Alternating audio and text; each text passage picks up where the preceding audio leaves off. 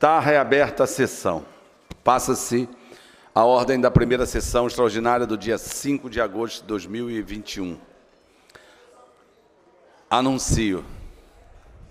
Em regime de urgência, em votação, em discussão única, projeto de lei 2879 de 2020, de autoria do deputado Daniel Librelon, que dispõe sobre a política estadual para a prevenção e controle da neoplasia maligna no Estado do Rio de Janeiro. Pareceres da Comissão de Constituição e Justiça pela constitucionalidade com emendas. Saúde favorável, de orçamento, finanças, fiscalização financeira e controle favorável. Relatores, deputados Márcio Pacheco, Marta Rocha e Eliomar Coelho. Pendendo de pareceres de, das comissões de Constituição e Justiça, de Saúde, de Orçamento, Finanças, Fiscalização Financeira e Controle, às emendas de plenário. Oi, Mink, boa tarde. Eu Para também não emitir, ouço. deputada Mônica, está aberto. Mink, seu som está aberto. Eu também não ouço e nem vejo nada. Deputada Eu Mônica está reclamando que não está ouvindo. Eu também não ouço nada. Deputado Mink, Ah, agora eu estou ouvindo. está ouvindo, Mônica? Agora sim. Estava sentindo Sim, falta dessa presidente. voz orientadora. Perfeitamente ouvindo o senhor. Ok, então vamos lá. Para emitir parecer pela Comissão de Constituição e Justiça sobre as emendas de plenário, deputado Márcio Pacheco. Alô. Boa tarde, senhor presidente. Boa tarde, senhoras e senhores deputados, deputadas e deputados. O parecer, senhor presidente, é favorável às emendas 1, 2, 3, 5, 6, 9, 11 e 13. Favorável com subemenda aglutinativa às emendas 7 e 12. Favorável com subemenda à emenda 14. Contrário às demais emendas, concluindo por substitutivo, pedindo forma final de redação. que a presidência defere. Pela Comissão de Saúde sobre as emendas de plenário, deputada Marta Rocha.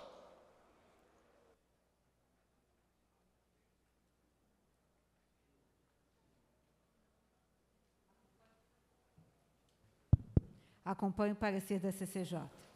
Pela Comissão de Orçamento, deputado Márcio Canela.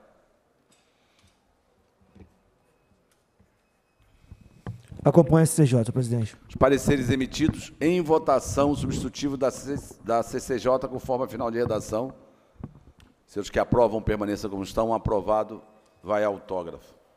Em regime de urgência, em discussão única, projeto de lei 4404 de 21, de autoria do deputado Rosenberg Reis, que altera a redação do artigo 22 da Lei Estadual 2657, de 26 de dezembro de 96, que dispõe sobre o imposto sobre circulação de mercadorias e serviços e dá outras providências para incluir um único inciso suspendendo a aplicação do regime de substituição tributária nas operações de saída interna de água mineral ou potável envasada.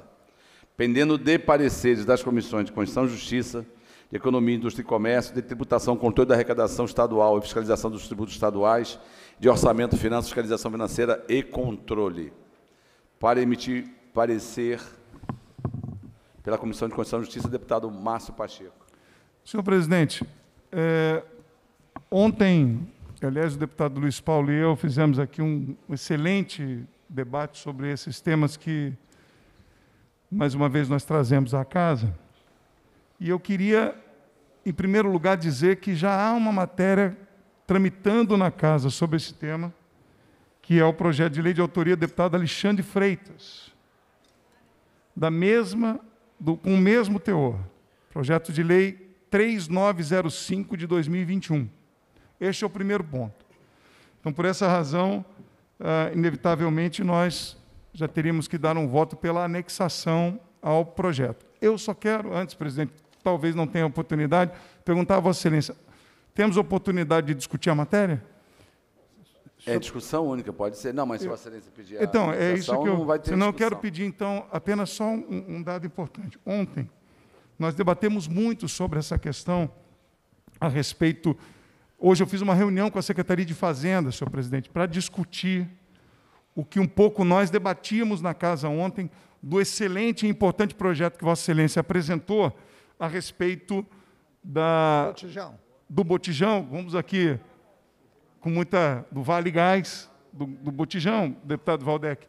E a diferença que é tênue, mas precisa, da necessidade do impacto, da, do estudo de impacto para um projeto de lei que trate sobre isenção e do estudo financeiro necessário para um projeto que trate, como o deputado Luiz Paulo já trouxe ontem, daquilo que é não se trata de estudo de presunção do que se vai gastar, de um estudo estimado.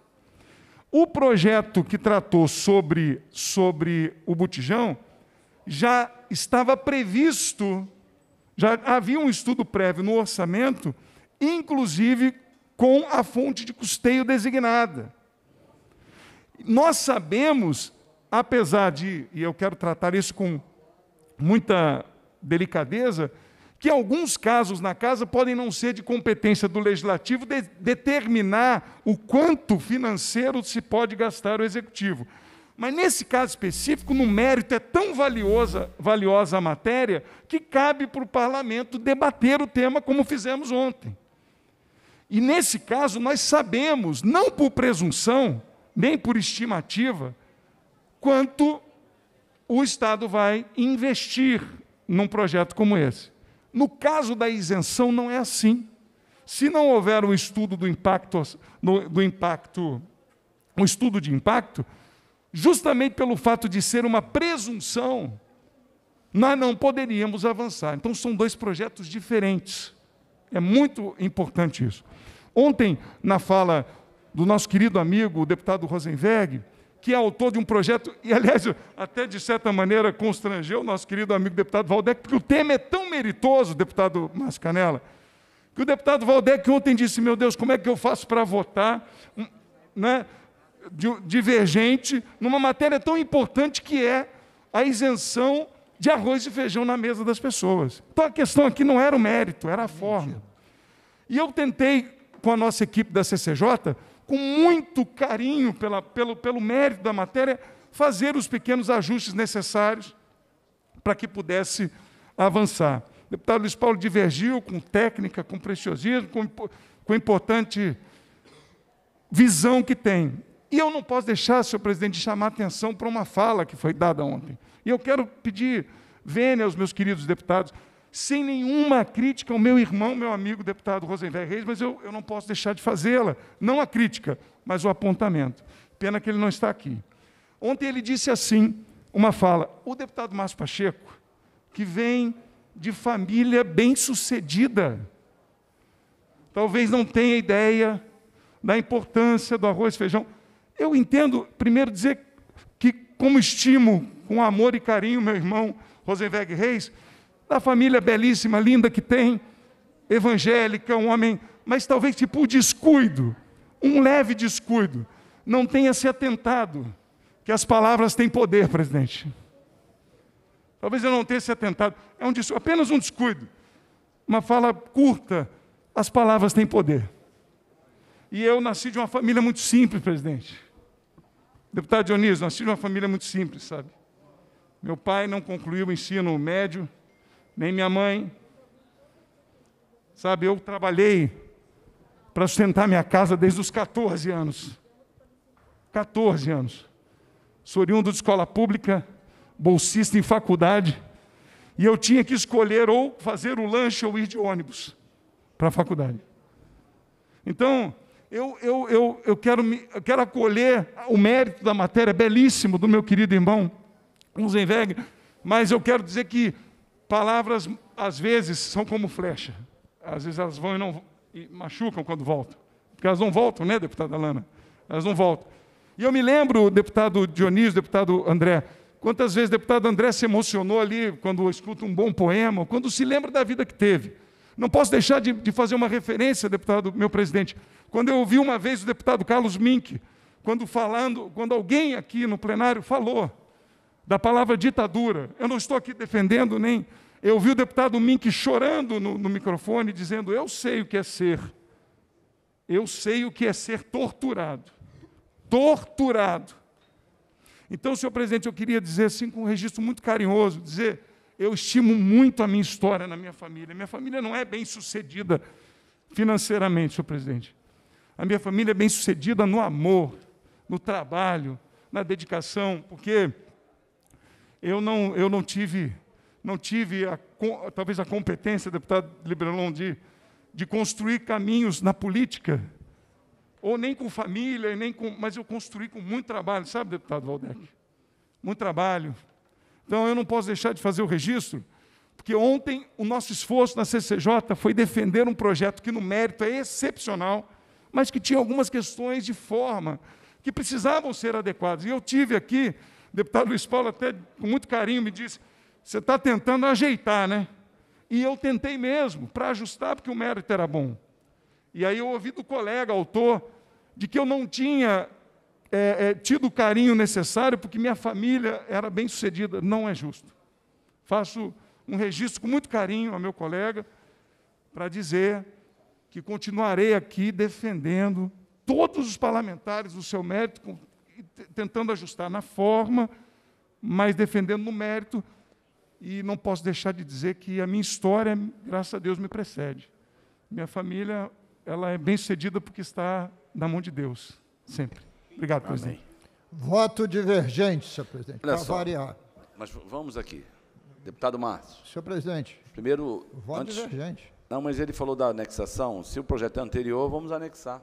Sim, querido, mas eu tenho outra anexação diferente da Ah, dele. uma anexação diferente. Ah, eu não sei. Eu não vou divergir da anexação. Eu Não, vou mas di- se nós não vai ter voto divergente, porque se o projeto vai ser anexado, ele é... Não, ele mas é- está sendo anexado ao projeto errado, senhor presidente.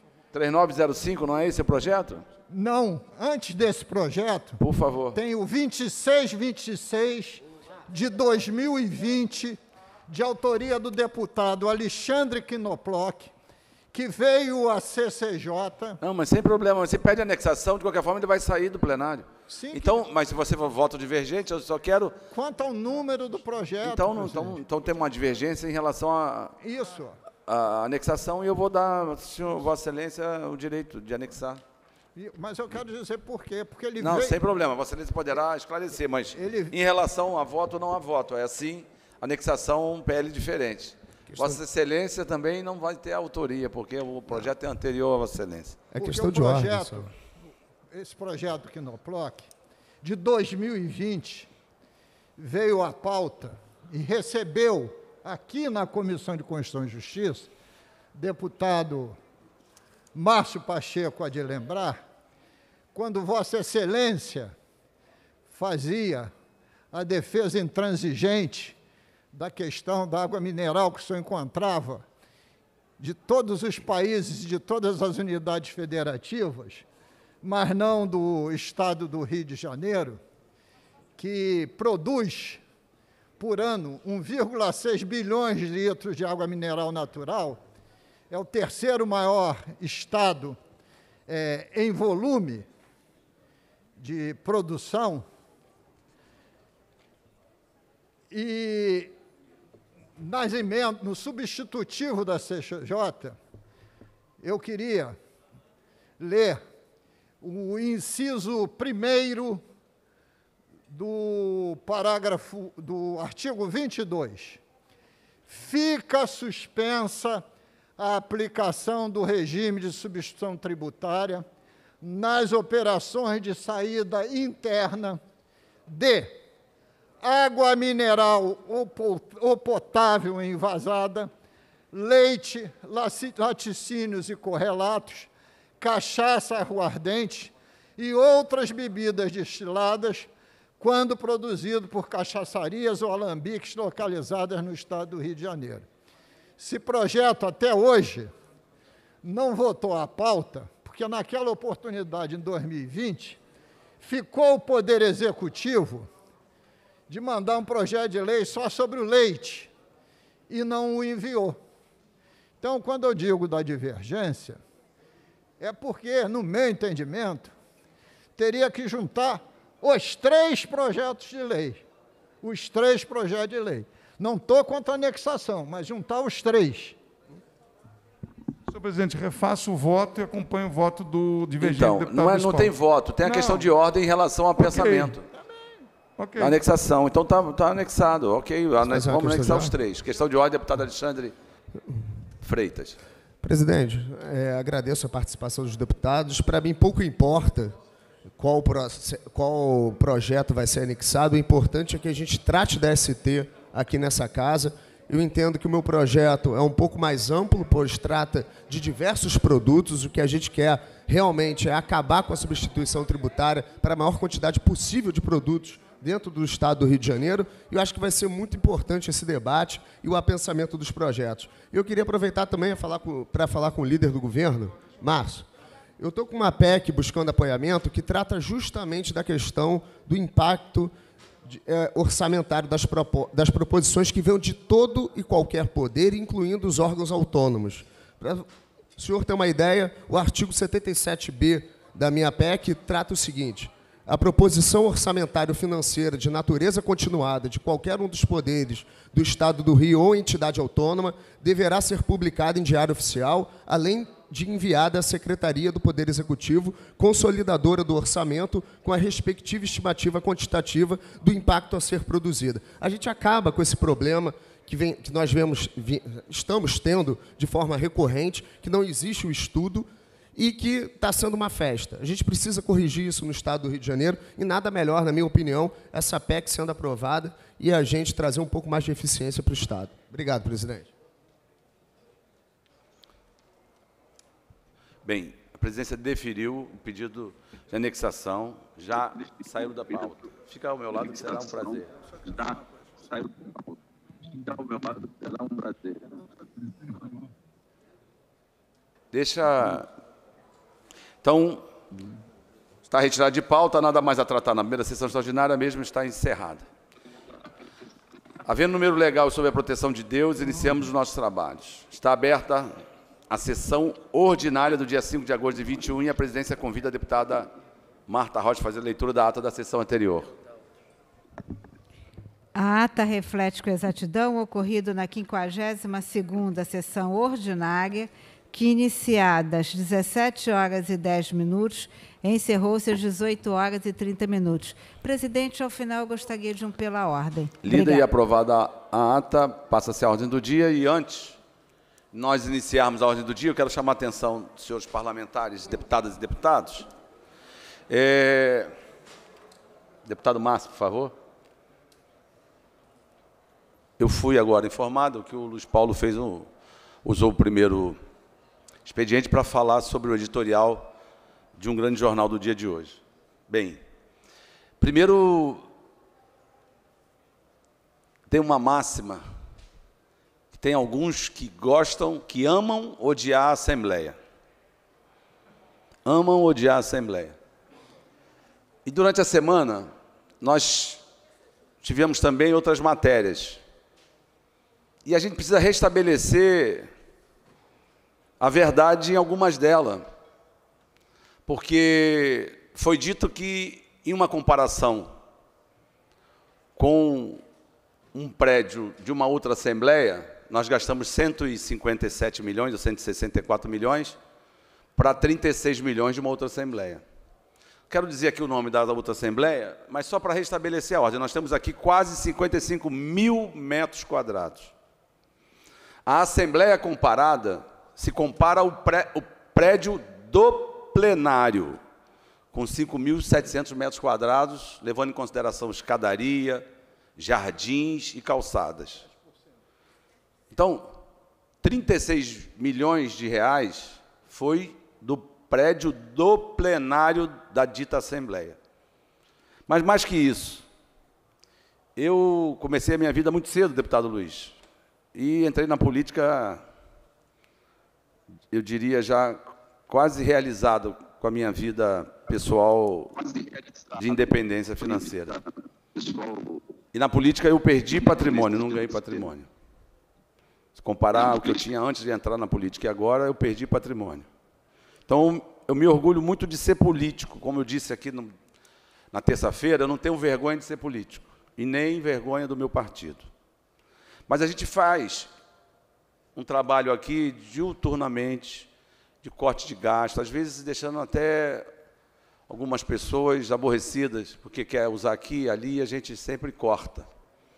Nós recebemos uma carta do regime de recuperação, na verdade, daquele conselho que acompanha o regime, que diz que no ano de 18, 19 e 20, a Assembleia economizou com servidores, com funcionários, a média de 11%. E é engraçado que essa própria carta faz uma projeção para os próximos 10 anos, meio que exige da Assembleia ter uma redução de 11% ao ano até 2010 para 2011. Então significa que é para parar o parlamentar, porque você vai cortando, tem um, tem um limite de cortar. A gente devolveu mais de 1,3 bilhões de reais nos últimos três anos. Nós devolvemos porque é fruto de economia do nosso orçamento. Obrigação nossa. A gente faz, deputada Marta, um exercício aqui. Quando vocês que acompanham o Diário Oficial pegar lá, vai ver que muitas das vezes o primeiro valor estimado de móveis para todos os, os 31 andares, nós temos, na verdade, 33 andares. Mas para todos os andares, é, primeiro valor, estudo estimado 16 milhões. Enxugamos, veio para 13, depois veio para 10, botamos na rua, saiu por 7 milhões. Todo o mobiliário do prédio. E assim foi na rede lógica também, mais de 10. Discutimos aqui, botamos ali, vamos mandar, botamos por 6, por 5, na rua saiu por 3.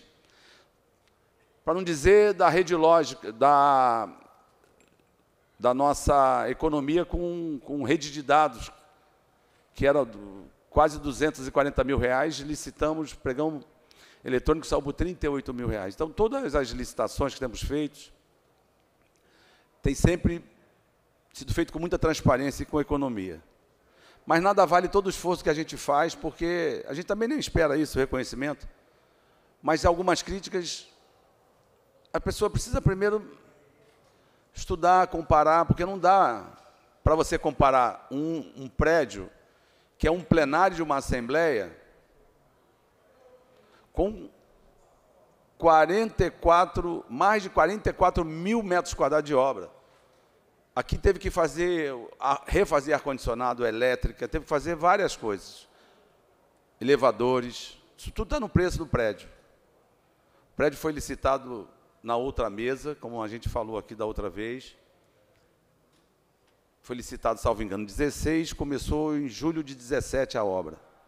Por acaso a gente já estava interinamente em julho como presidente.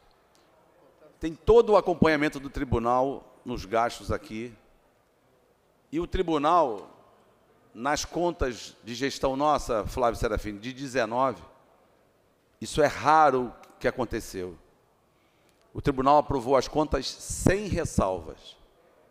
Eu fui prefeito, eu não conheço nenhuma conta de prefeito aprovada sem ressalvas. Sempre tem ressalvas, improbidades, impropriedades.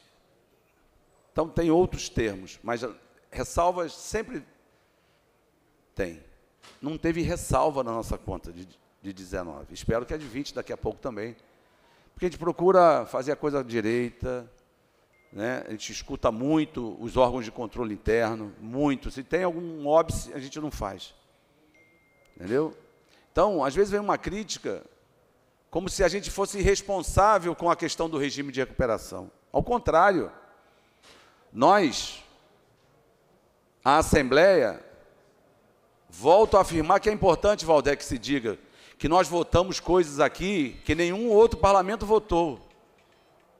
Foi elevar de 11 para 14 a contribuição, foi implantar um teto, foi autorizar a venda da estatal nossa, que é a nossa Petrobras, que é a SEDAI.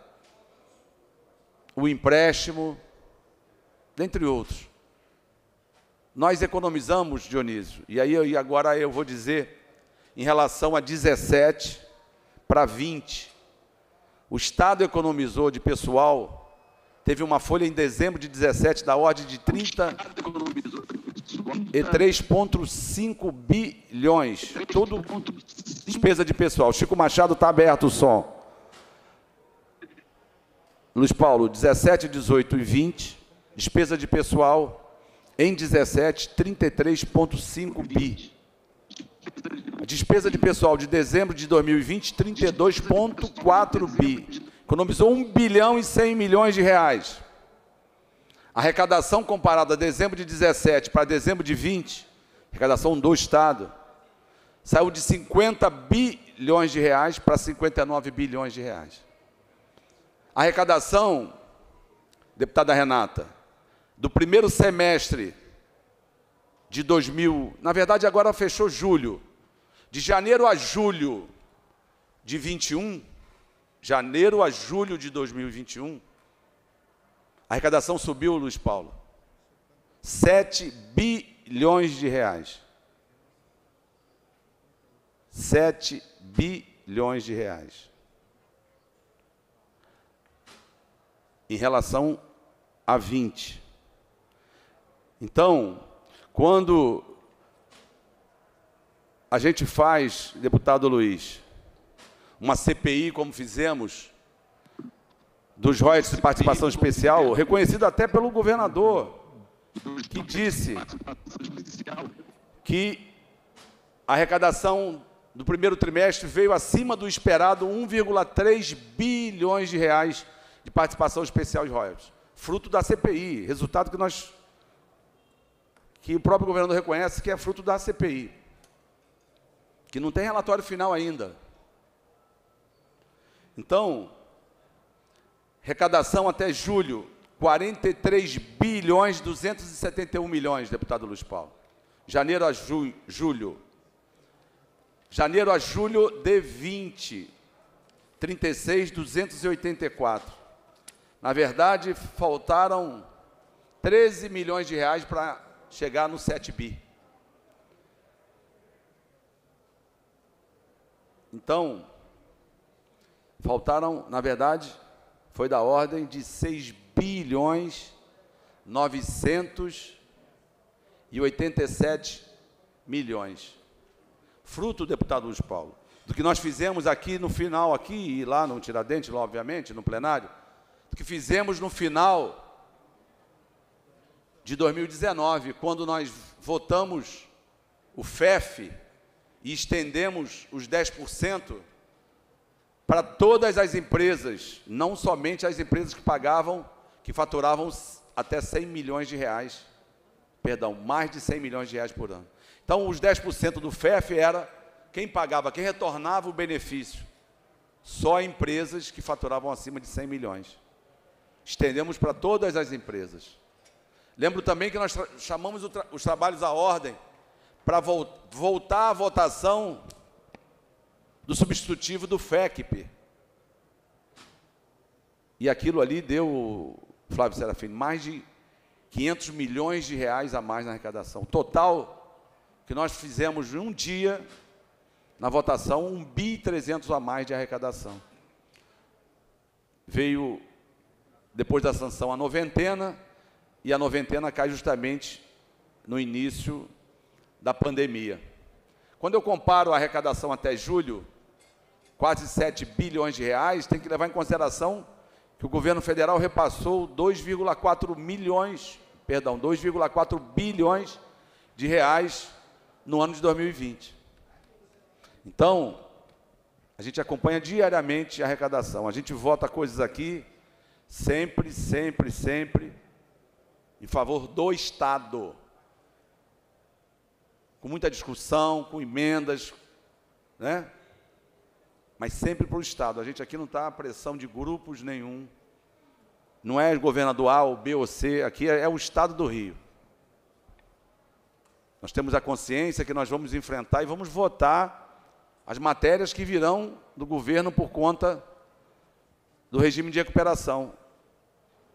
Mas o que o Estado do Rio de Janeiro fez, nenhum outro Estado fez. Tem muitos estados que não estão pagando o serviço da dívida porque estão por liminar.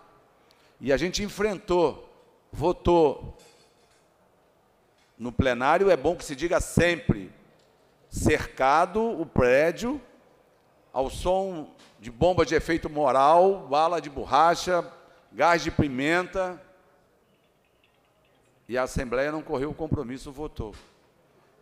Na terça-feira teve aqui uma manifestação, e foi ótimo, porque a gente já iniciou com uma manifestação, Porque todo mundo reivindica e vem reivindicar no parlamento, não vai no executivo, não vai no judiciário, não vai no Tribunal de Contas, não vai no Ministério Público reivindicar. Vem reivindicar no parlamento. Então eu até elogiei aqui o Pedro Figueiredo na terça-feira, e estou aqui fazendo um registro, como diz o outro, um registro a nível de queixa. Mas eu quero a imprensa livre, eu quero que os jornalistas tenham acesso a todos os gabinetes, a gente não tem nada que esconder. Mas é sempre bom que a gente possa ter os números, porque é sempre o sujeito fala qualquer coisa, vai valendo, vai valendo, vai valendo. Eu lembro bem, nós fizemos uma cotação para as cadeiras, saiu menos da metade do preço as cadeiras, cadeiras altas. Então, a crítica é fundamental para o político em especial para o parlamento, porque o parlamento é o primeiro, que eu digo sempre, é o primeiro a apanhar, né, Luiz?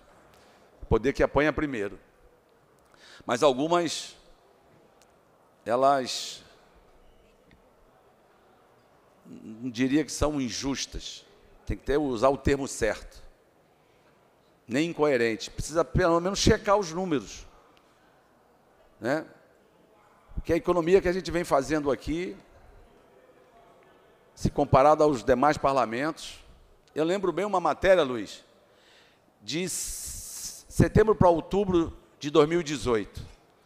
Foi um empenho de passagens que foi publicado, em torno de 180 mil reais, um empenho por estimativa.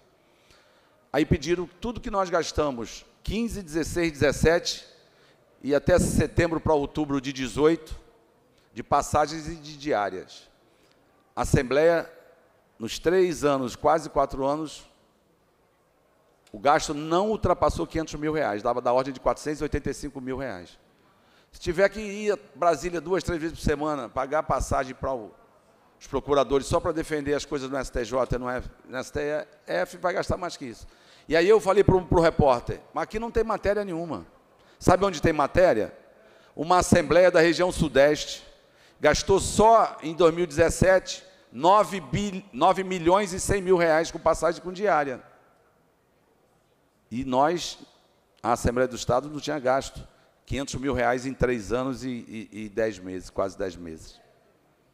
Foi feita uma outra matéria, salário médio dos servidores da Assembleia. Eu falei, aqui não tem matéria, tem matéria no outro estado do, da região sudeste, que o salário médio é 10.600. Era quase quatro vezes, era três, mais de três vezes mais do que a matéria a falar. Mas sempre a crítica maior aqui. Bom que se tenha crítica, é fundamental para que a gente possa corrigir os erros, sempre, mas algumas vezes injustas.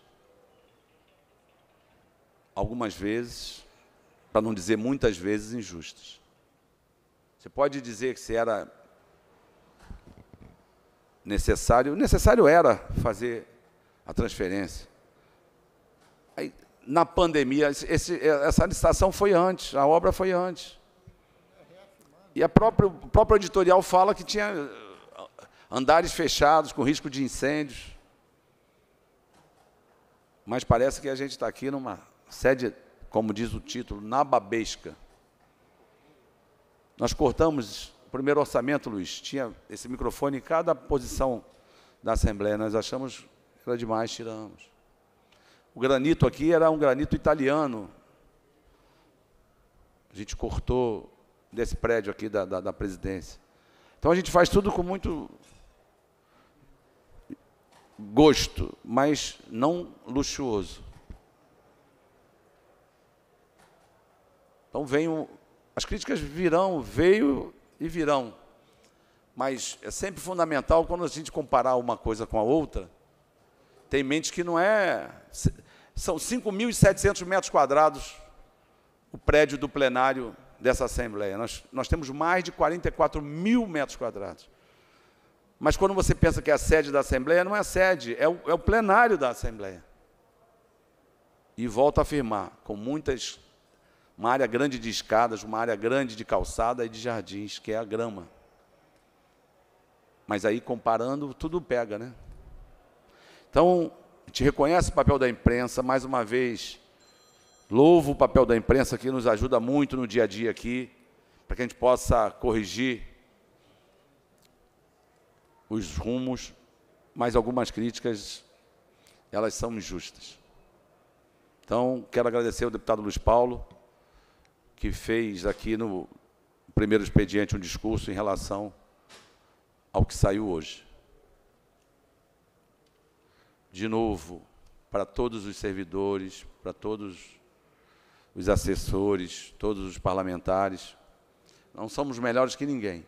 A gente procura fazer, agir direito, fazer a coisa certa, porque nós estamos aqui para fazer o melhor para a população do Estado do Rio de Janeiro, não para o governador A, para o governador B, para a corporação A ou B, para grupos A ou B. Estamos aqui para fazer para quem mais precisa, quem mais precisa é a população do Estado do Rio de Janeiro, que passa por muitas dificuldades. Ontem mesmo votamos aqui o auxílio gás. Votamos esse ano aqui o Supera Rio, votamos esse ano, Luiz Paulo, a constituição do fundo soberano, a CPI, a participação especial e dos royalties, que volta a dizer, os, as petroleiras, o, a, o próprio órgão de fiscalização Ficamos o ano inteiro, o ano passado, tentando fazer o convênio para que o Estado pudesse, a Secretaria de Fazenda, fiscalizar os abatimentos da, da participação especial, a gente não conseguiu. Fizemos a CPI, implantamos a CPI, logo na primeira semana já tinha manifestação. Logo nas primeiras reuniões a gente viu que o potencial de arrecadação é no mínimo 2,4 bi a mais esse ano. E nós vimos que a gente pode recuperar em torno de 10 bilhões de reais de receita para o Estado do Rio de Janeiro dos últimos 10 anos. Quando a gente briga, né, Luiz, aqui, com as empresas que, que, que, que exploram o petróleo do Estado do Rio de Janeiro, é sempre em defesa do Estado do Rio de Janeiro, não é em defesa de A ou B ou C. Quando a gente discute, emenda um projeto do Executivo, é sempre para que a gente possa melhorar o projeto. E em nenhum momento, deputado Daniel Librelon, nós tivemos medo, já a partir do final de 16, de votarmos aumento de impostos aqui, de álcool, de bebida, de cigarro. E, ao contrário, esse ano nós fizemos também de minha autoria, e eu falei alguns projetos aqui sempre de minha autoria, de um deputada Marta, para que a gente possa isentar de CMS o pequeno agricultor da conta de luz. De novo, o governador já disse, mais de uma oportunidade, que está fazendo um estudo para reduzir o ICMS do combustível, da energia, das telecomunicações.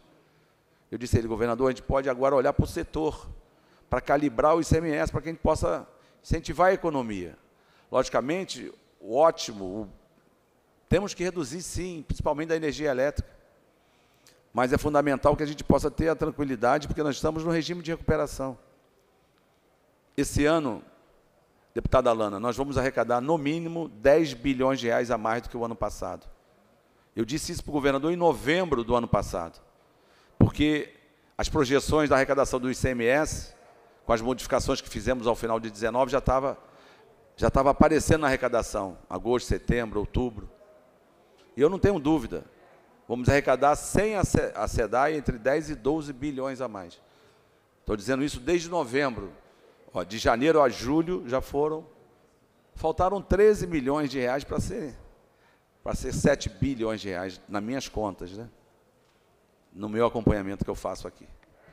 Então, nós vamos sim debater e muito aqui as mensagens que vão chegar.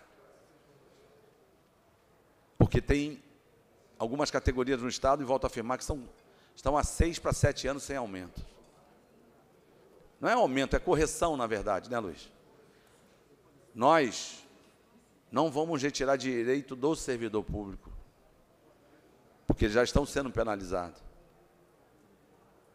Volto a dizer, o Estado, como um todo, reduziu em 1 bilhão e 100 milhões de reais a despesa com o pessoal de 17 para 20. São números. Estão nos balanços. A receita cresceu quase 20%. Vai crescer mais esse ano. Então, com muito orgulho, de novo, estamos fazendo o nosso papel, tentando melhorar a arrecadação do Estado, legislando em favor do cidadão fluminense. E aí, deputado Luiz, mais uma vez, eu hoje pela manhã, seis e pouquinho, eu recebi vários telefonemas. Vários, muitos deputados. É, faz parte. O, o, o político que não quiser ouvir crítica não, não tem que ser político. Mas algumas, elas são injustas. Fizemos também o Supera Rio aqui, né, Luiz? Criamos uma- um auxílio emergencial para a população que mais precisa. Linhas de créditos de até 50 mil reais para o pequeno empresário, mas sempre pensando no melhor da população. Vamos trabalhar ainda mais. E as críticas fazem parte, e ela, deputada Adriana, faz com que a gente possa melhorar e crescer. Então, vamos à pauta.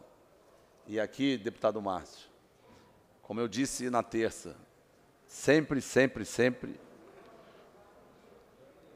ao Estado. Somos amigos do governador, temos uma relação excepcional com ele, mas sempre olhando melhor para o Estado.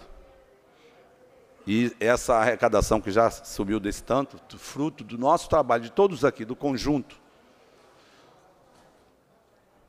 eu diria muito pontualmente, novembro de 19, quando fizemos modificações que estão já refletindo, que vem refletindo já desde o final do ano passado. Então, não, sem dúvida, vamos trabalhar ainda mais para o povo do Estado do Rio de Janeiro.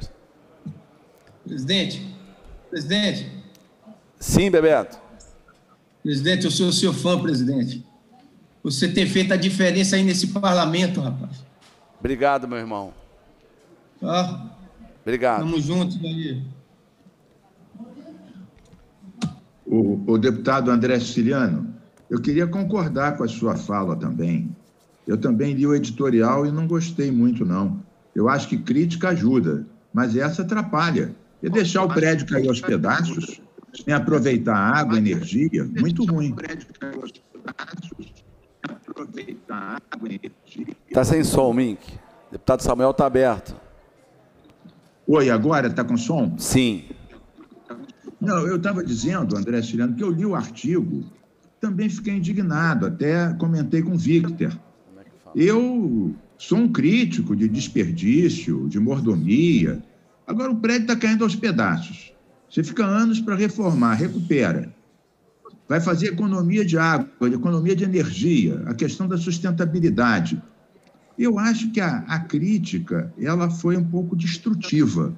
Ela, ao invés é, de comparar o que estava acontecendo e o que foi feito, ela, como você bem explicou, comparou com uma outra situação que não era exatamente comparável. Eu acho que devia de elogiar que a gente está largando para ser um espaço público a sede antiga, recuperamos um esqueleto que daqui a pouco ia cair, se arruinar, e que a sustentabilidade em cada um dos aspectos foi um elemento importante. Eu acho que a gente tinha que fazer até o estudo, não sei se o Victor fez, quanto que a gente está economizando de emissões por todos os aspectos de sustentabilidade. Nós sabemos aqui que o prédio tem três subsolos. E esse prédio tinha um conjunto de bombas, Mink, tem ainda, que era porque mina água. Então nós estamos aproveitando a água da chuva e essa água.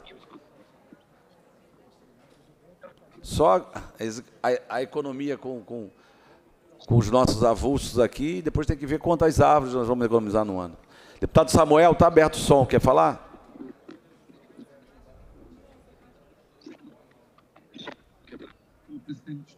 Não, está muito baixo, Samuel.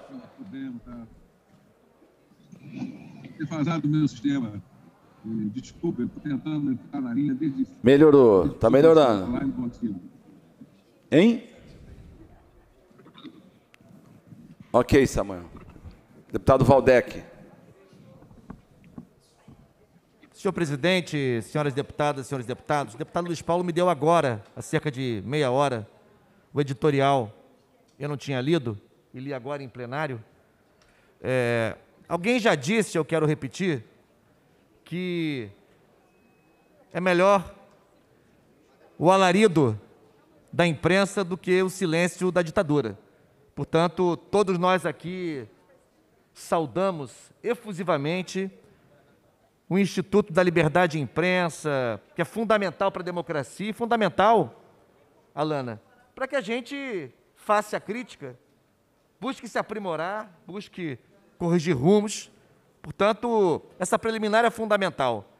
E o presidente André Ciliano falou sobre essa preliminar antes de começar a sua manifestação. Isso dito, eu quero dizer que se o editorial é, colocasse em questão o debate sobre a validade, a importância de mudar ou não mudar a sede da Assembleia, isso é um debate que pode ser feito. Agora, o que me chama a atenção, e eu quero aqui manifestar a minha discordância, respeitosa, porém veemente discordância, em primeiro lugar, os números falam por si mesmos. Qual foi o órgão que em três anos, em três exercícios financeiros, economizou do seu orçamento mais de um bilhão de, real, de reais e devolveu? Um bilhão e trezentos milhões, talvez? Um bi, pois é. Em três exercícios financeiros. As contribuições que nós demos é o nosso papel, é a nossa obrigação, inclusive, legislar para melhorar a arrecadação do Estado. Agora, fazer referência à Assembleia para afirmar que nós não temos compromisso ou sensibilidade com a dificuldade, com o sofrimento que o povo do Estado, Rodrigo, está enfrentando, aí nós temos sucessivos exemplos, sucessivos exemplos de matérias que nós temos votado, algumas já sancionadas. Nós votamos aqui o Supera Rio para que o Estado do Rio de Janeiro, afinal de contas, tivesse, iniciativa da Assembleia, afinal de contas, tivesse um auxílio emergencial para as pessoas que mais sofrem, que já sofriam, Renata, antes da pandemia, que a miséria e a pobreza não é consequência apenas da pandemia, não. A pandemia agravou esse quadro. Mas o Supera Rio não é só auxílio emergencial, não. Deputado Wellington José. O, Supera Rio é também um fomento, um incentivo às atividades econômicas do Estado, às pequenas atividades. Isso não é sensibilidade com o quadro do Estado? Ontem nós votamos o projeto do gás. Gerou um debate, inclusive, sobre valor, se seria 50, 80, 75, enfim. Eu aprovei o primeiro projeto desta casa, vários coautores e coautoras, que bom. Linha de crédito específica para empreendimentos econômicos nos territórios populares, nos territórios de favela, para estimular a economia nestes locais. Isso não é sensibilidade para com o problema do Estado?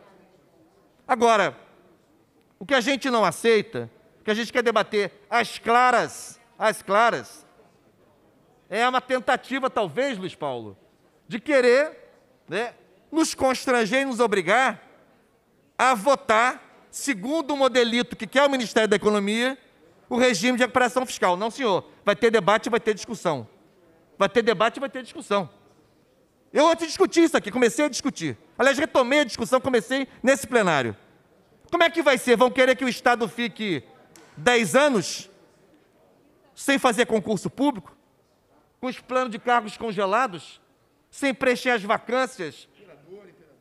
Vacâncias decorrentes de demissões, de exonerações, de aposentadorias, fim de falecimentos? vão, vão interromper o funcionamento da máquina do Estado, o Estado não tem nenhum papel a desempenhar no desenvolvimento econômico e social, não tem que partir do poder público, não é nosso papel, inclusive. Isso eu não vou aceitar. Esse debate eu quero fazer, às claras, às claras. A gente entende as circunstâncias fiscais, a gente entende as circunstâncias difíceis, críticas até da economia do Estado. Agora, é preciso equilíbrio e lidar com os dados. Eu, eu, citei aqui ontem o professor Mauro Osório, em debate recente que fizemos no, no Seminário de Economia Fluminense, André participou, Luiz Paulo participou, participei em mesa diferente. A mesa que eu fiz com ele, com o Bruno Sobral, ele mencionou que a assessoria fiscal está pensando em lançar uma série. Eu achei um, genial. A série não é bem assim. Para ir desmontando algumas falas e algumas, algumas é, é, ideias que vão sendo repetidas à exaustão sem base e sem fundamento e que vão virando supostas verdades. Então o Rio de Janeiro economizou com folha de pessoal, enquanto a receita subia. Portanto, é, é importante fazer esse debate com abertura, com clareza, que a imprensa paute a Assembleia Legislativa, discuta o nosso trabalho, abra a cortina e dê o máximo de transparência ao que acontece aqui. Agora é importante todos termos uma base de informações, uma base de dados para cotejar. Então, eu queria dizer, André, que é, é, é, é compreendo a sua manifestação, a sua reação, apoio a linha argumentativa que você desenvolveu. Nós temos dado sucessivos exemplos e, e projetos votados por diferentes bancadas. Bancadas que, inclusive, do ponto de vista doutrinário ideológico, vivem as turras aqui, para o bem da democracia, inclusive. O bom debate é necessário ao parlamento e votamos juntos projetos fundamentais para resolver, não para aplacar o sofrimento do povo do Estado. Então, eu não vou aceitar, como deputado de Estado, né, que o editorial faça referência à Assembleia, não vou, aceitar em silêncio, quero dizer, que faça é, referência à Assembleia como se nós não tivéssemos nenhuma sensibilidade para com a pobreza, a miséria, o aumento da população em situação de rua, desemprego. O Estado que mais perdeu empregos com carteira assinada nos últimos cinco anos, mais até que o Estado de São Paulo, que tem um estoque muito maior. Então eu queria fazer essa manifestação aqui e abrir o debate. Vamos debater em que condições o Estado deve fazer essa travessia de 10 anos. É uma travessia do deserto que querem que a gente faça? É o desmonte total da estrutura do Estado e da sua capacidade de investir, de formular políticas, de induzir o desenvolvimento, de reparar discrepâncias, equilíbrios e diferenças e desigualdades? Isso é o papel do poder público. Se a gente não fizer, quem fará? Se a gente não fizer, quem fará? O mercado? Então eu queria fazer essa manifestação, é, ressaltando a importância, a centralidade para a democracia da liberdade de imprensa, que não se discute aqui, ao contrário, se celebra, mas ao mesmo tempo é preciso trabalhar com dados, informações, enfim, fatos concretos, porque aqui nós já temos uma sucessão de exemplos de que não tem, não tem procedência, não tem base empírica, não tem base empírica essa menção de que a Assembleia Legislativa do Estado do Rio de Janeiro, da qual eu tenho muito orgulho de ser membro como deputado, não tem sensibilidade para com os problemas sociais do Estado. Isso não é verdadeiro. Deputado Rodrigo Amorim. Presidente, eu acompanhei a sua fala e acompanhei também as manifestações por parte da imprensa.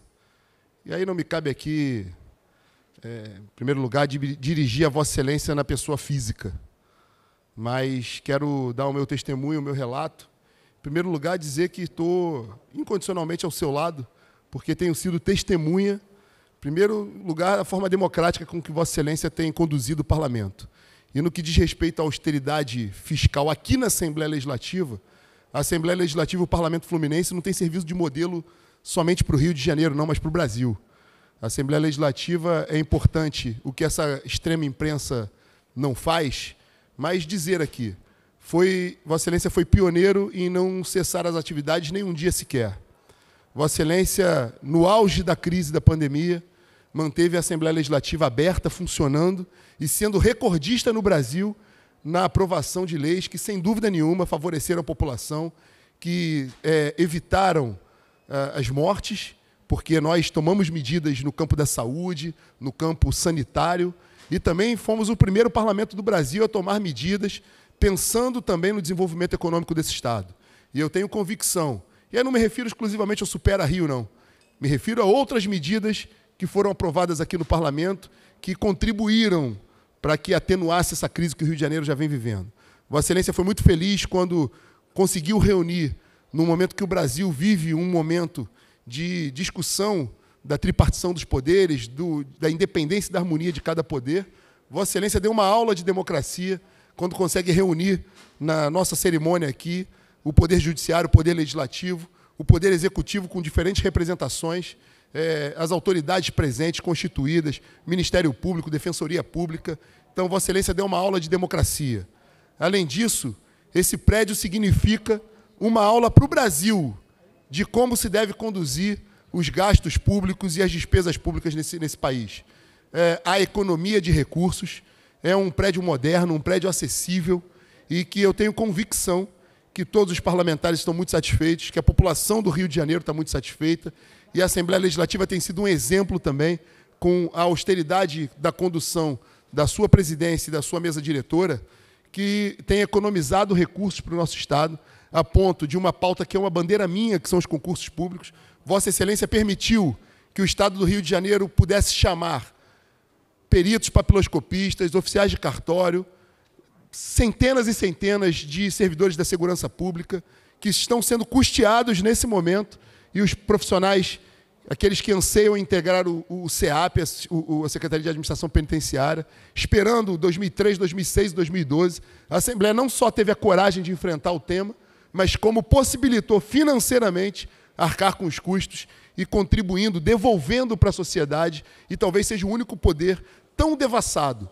O tempo inteiro, todo mundo de lupa em cima, nós somos vigiados o tempo integral, os outros poderes não têm essa rigidez de fiscalização, infelizmente, com que o poder legislativo tem.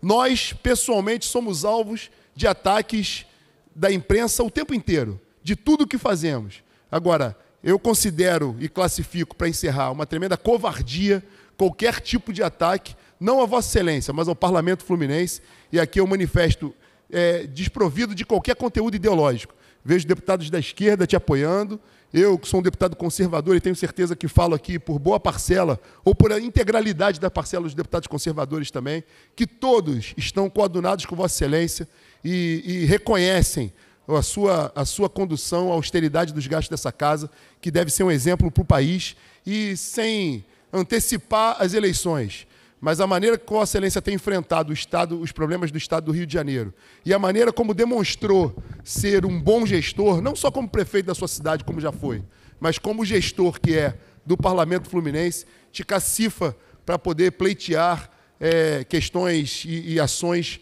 muito maiores em nome do nosso Estado. Então, tenho o meu tenho meu respeito e aqui o meu testemunho da sua austeridade, da forma como vem conduzindo esse parlamento, presidente. Obrigado, deputado Rodrigo Amorim.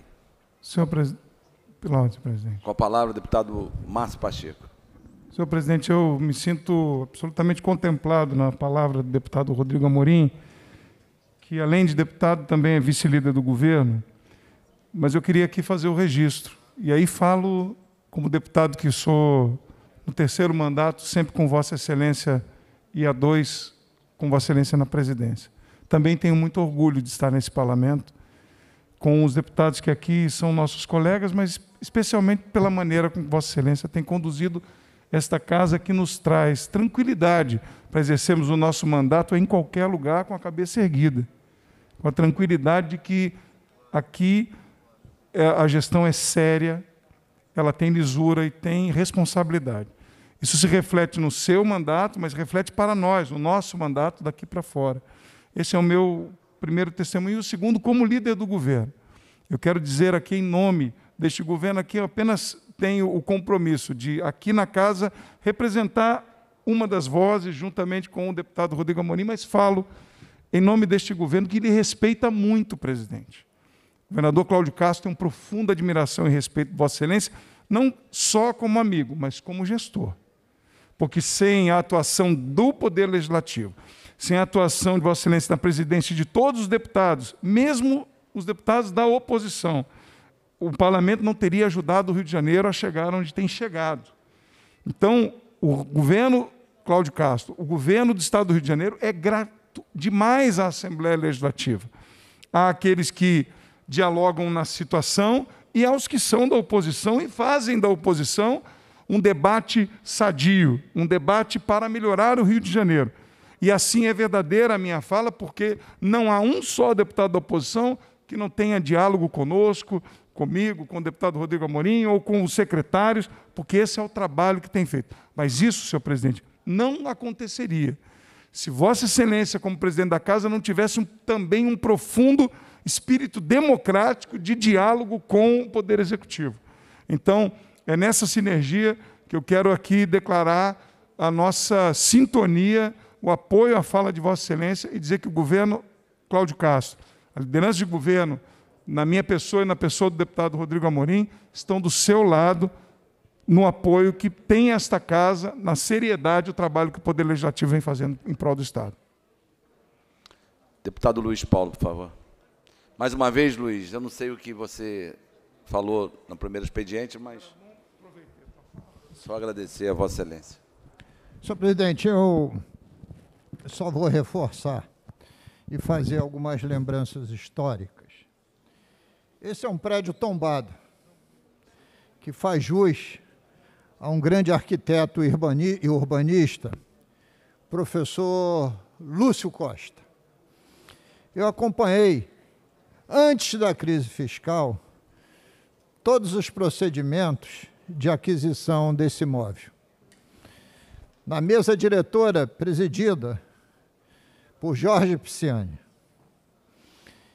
E praticamente para a aquisição desse prédio, que só tinha aqui o Proderge e uma Secretaria de Estado, e que estava em petição de miséria, praticamente esse prédio foi adquirido sem gastos de recursos públicos.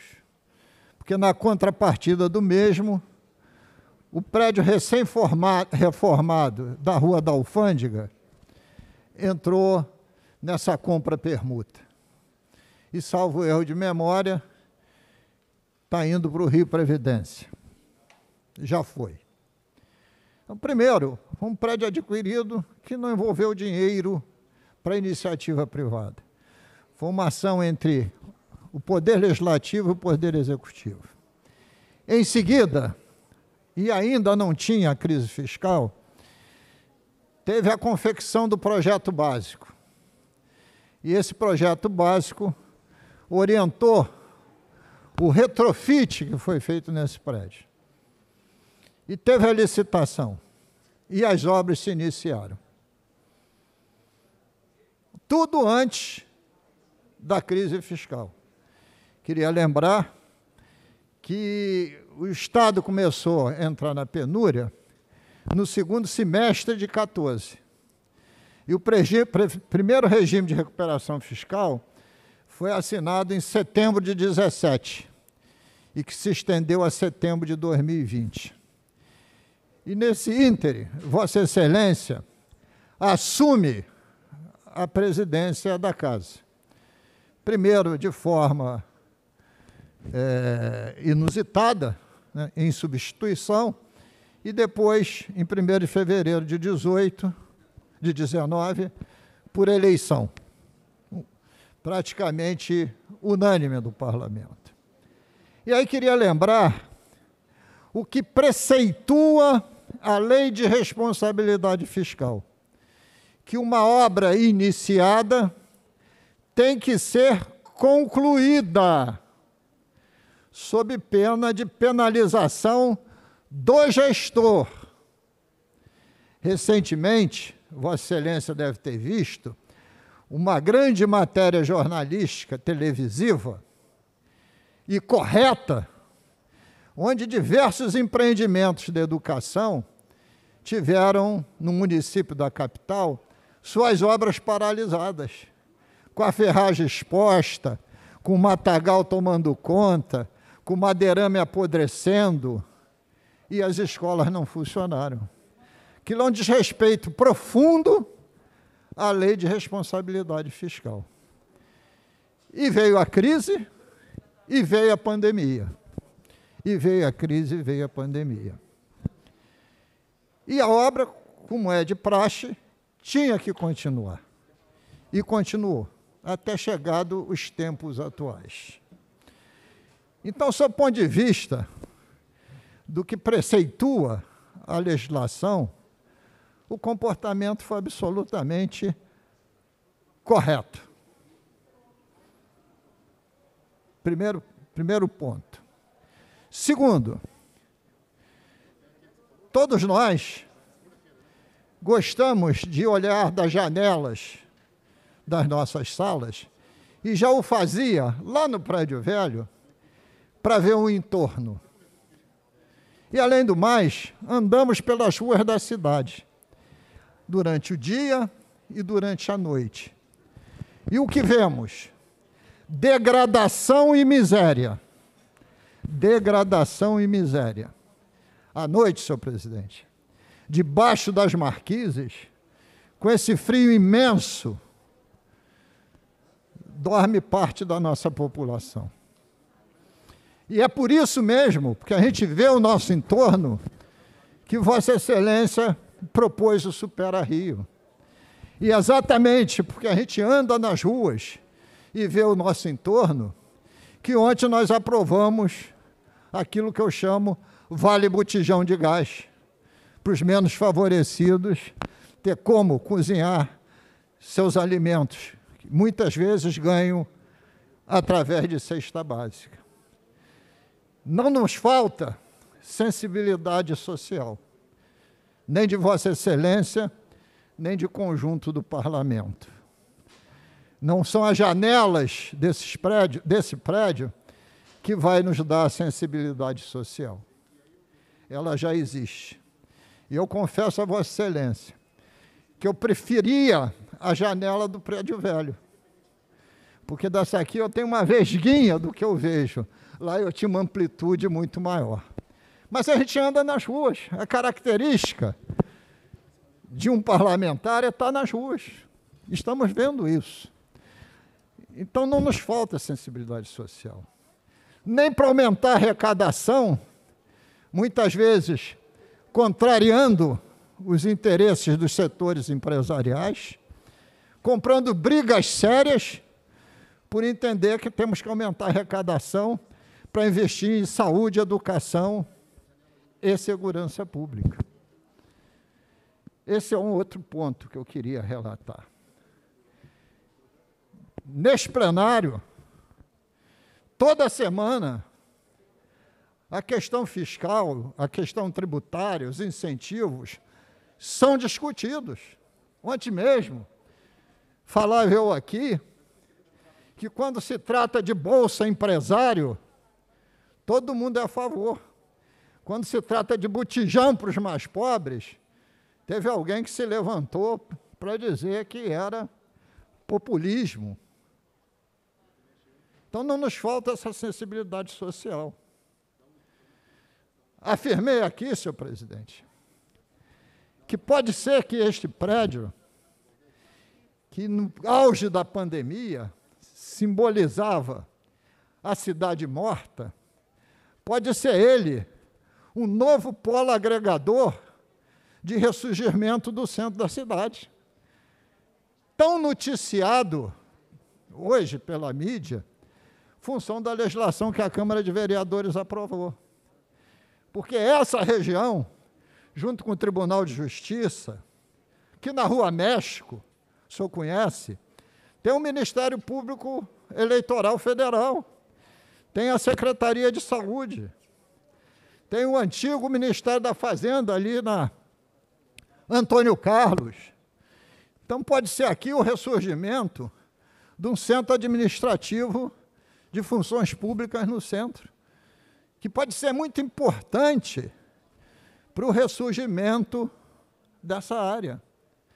Não é lá na área portuária, onde bilhões foram investidos em túneis, em museus, e dois grandes museus importantes, que esses investimentos se tornam ruins porque a gente está vivendo uma grande crise.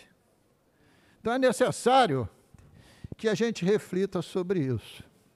E mais ainda, senhor presidente, o regime de recuperação fiscal é um açoite no nosso funcionalismo público, mas é um açoite pior ainda na população fluminense.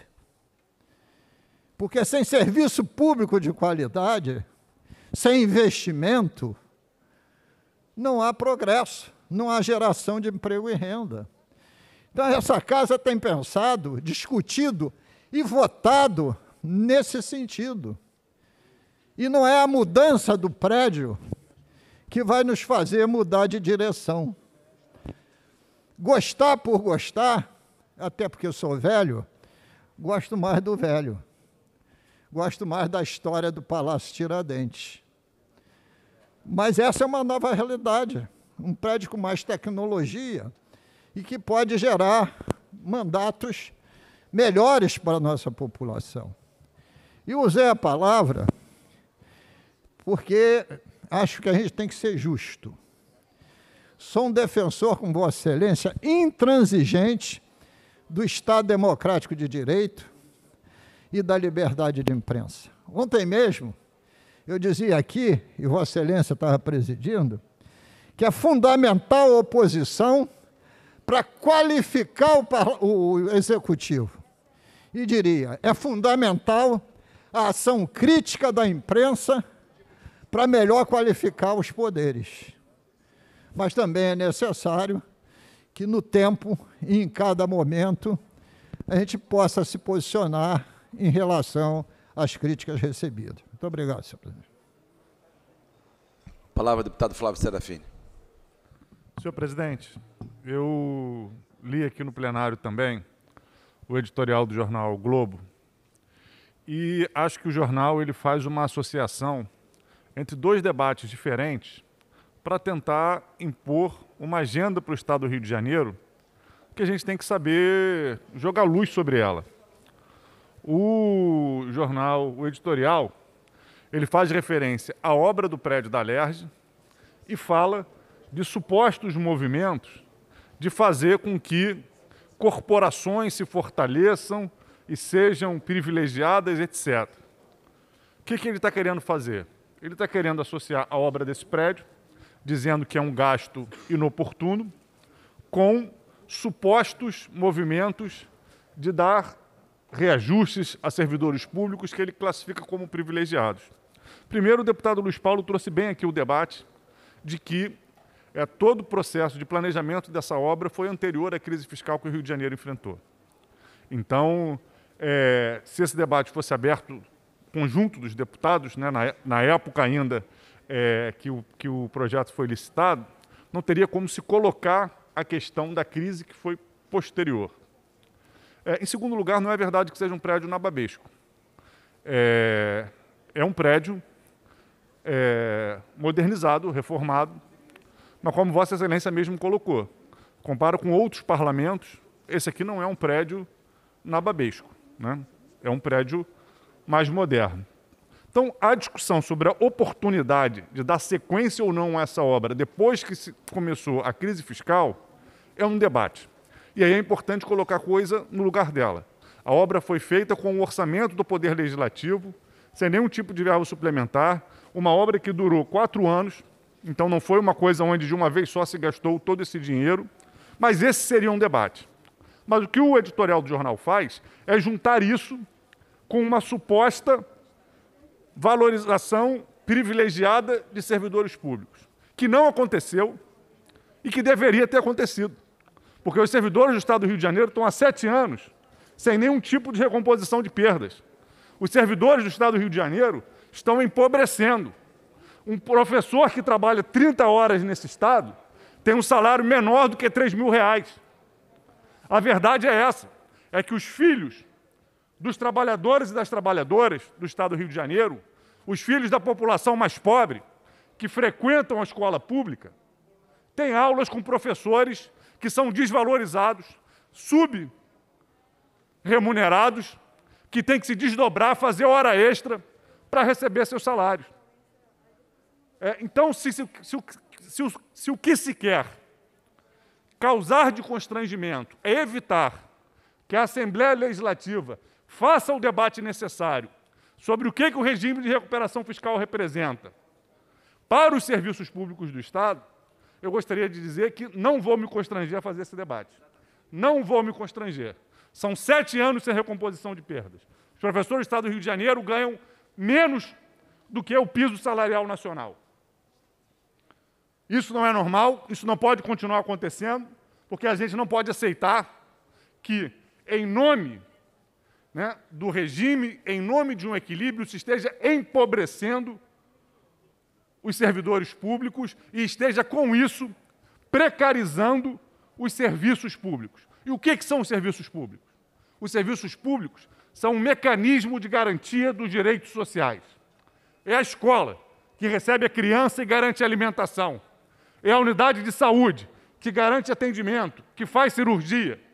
Então, esse editorial, ele me chamou a atenção como, de forma perniciosa, ele sobrevaloriza o que foi a obra desse prédio para associar ao que seria uma agenda nababesca de privilégios para o Estado do Rio de Janeiro, querendo plantar, já de agora, uma tentativa de colocar o parlamento na defensiva no debate do regime de recuperação fiscal.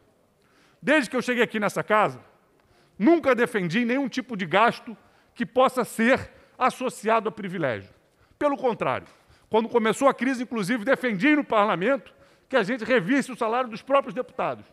Que, aliás, diga-se de passagem, eu estou nesse parlamento, vai fazer sete anos, nunca foi reajustado. Nunca foi reajustado. Então, não tem aqui, pelo menos nos sete anos que eu estou aqui, nenhum tipo de iniciativa de deputado querendo legislar em causa própria. Não aconteceu nesse período. E eu nunca votei aqui nenhuma matéria que possa ser confundida com privilégio. Mas existe um debate que a gente tem que fazer no Rio de Janeiro. A gente enfrenta, enfrenta sim, uma crise, a necessidade de encontrar um modelo de desenvolvimento. Essa casa tem se debruçado sobre isso. Nós temos que recuperar receitas. Nós temos uma dependência estrutural do que a gente arrecada com petróleo, do peso que a indústria do petróleo tem na nossa economia. E isso, obviamente, são elementos que a gente tem que enfrentar. Nós temos que ter um projeto de desenvolvimento. Nós somos extremamente prejudicados no Pacto Federativo, extremamente prejudicados, prejuízos constantes com relação aos tributos. Já debatemos isso aqui várias vezes.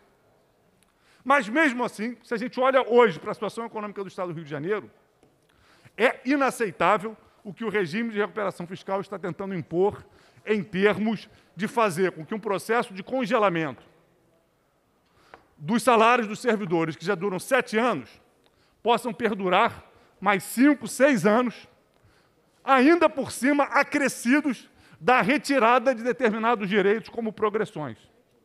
Isso é inaceitável.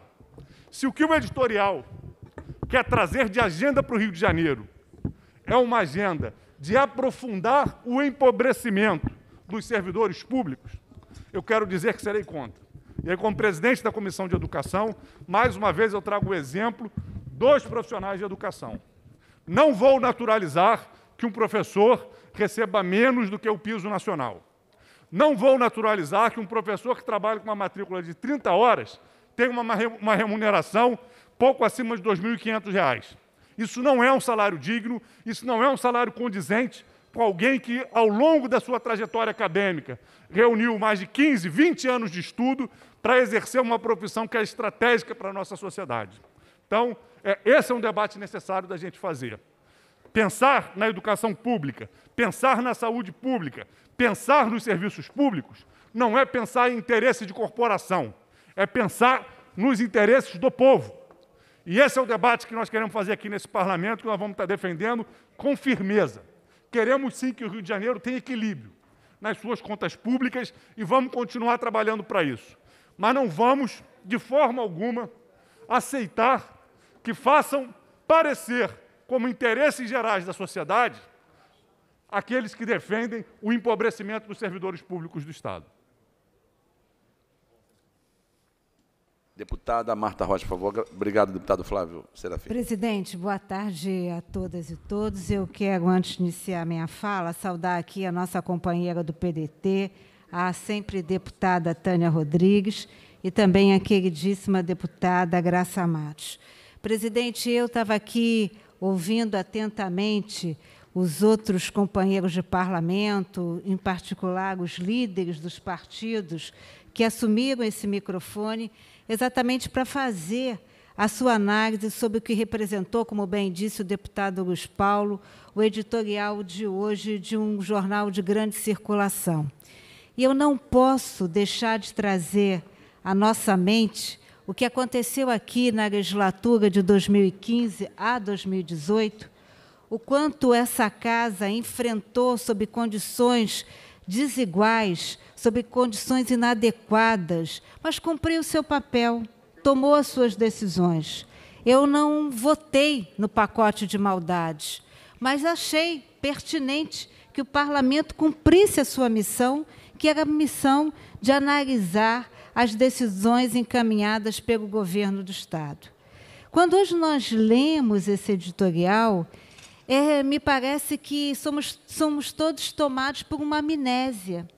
Nos esquecemos, deputada Tia Ju, não só desses momentos, Mas nos esquecemos também do papel protagonista da Assembleia Legislativa, por exemplo, durante a pandemia da Covid-19 os incentivos, os aportes financeiros que foram feitos pela, pela Assembleia Legislativa, seja apoiando o município, apoiando universidades, apoiando programas de incentivo à ciência e de informação nas comunidades carentes, como aconteceu com a comunidade da Maré, numa parceria com a Fiocruz.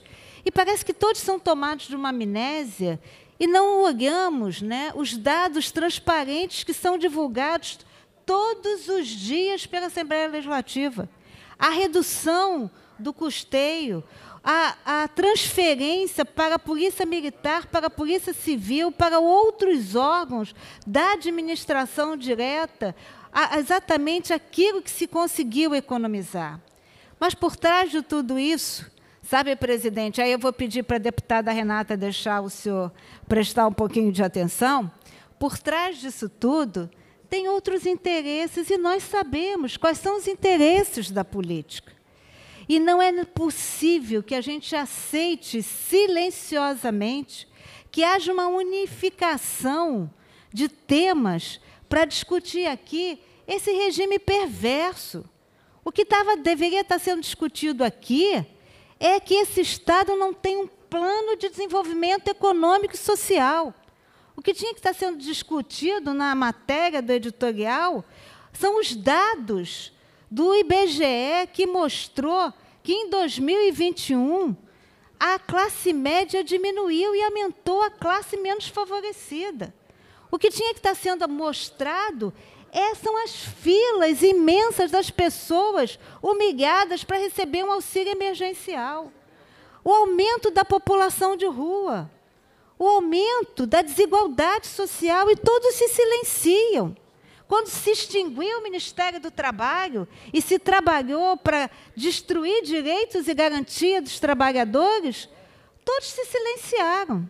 Então, presidente, eu quero aqui, em meu nome, em nome dos meus companheiros do PDT, dizer que nós seguimos muito tranquilos, tranquilos com que foram as decisões tomadas aqui na construção desse prédio e seguimos muito tranquilos e muito, muito atentos para decidir, como bem disse aqui o deputado Flávio Serafini, para decidir em favor daqueles profissionais que garantem as políticas públicas. Se nós tivermos algum tipo de dúvida, vamos nos lembrar da importância do SUS.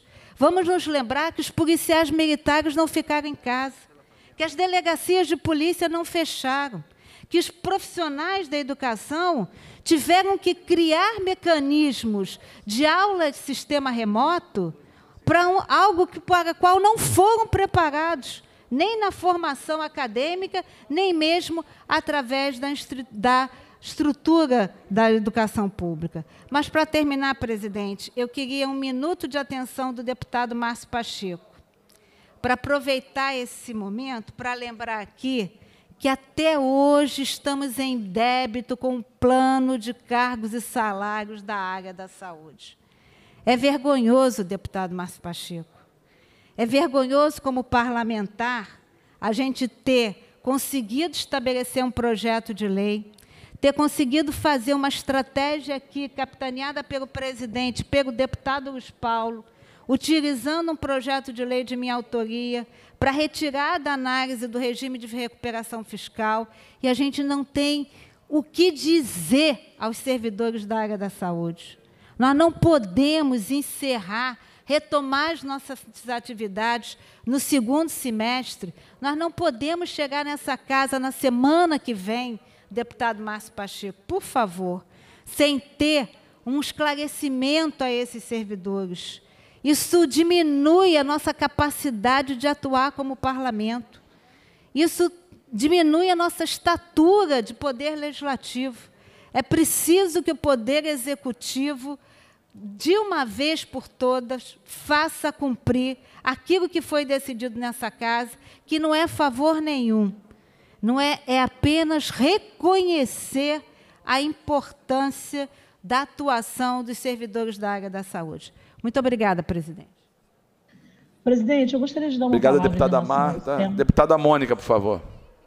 Muito obrigada, presidente. Boa tarde a todos e todas, colegas deputados e deputadas, a quem nos assiste, pela TV Alerj, pelas nossas redes sociais. Esse é um tema realmente muito delicado, porque nós estamos num período de tremenda fragilidade da democracia no Brasil. Há fissuras muito evidentes na estrutura democrática do nosso Estado brasileiro.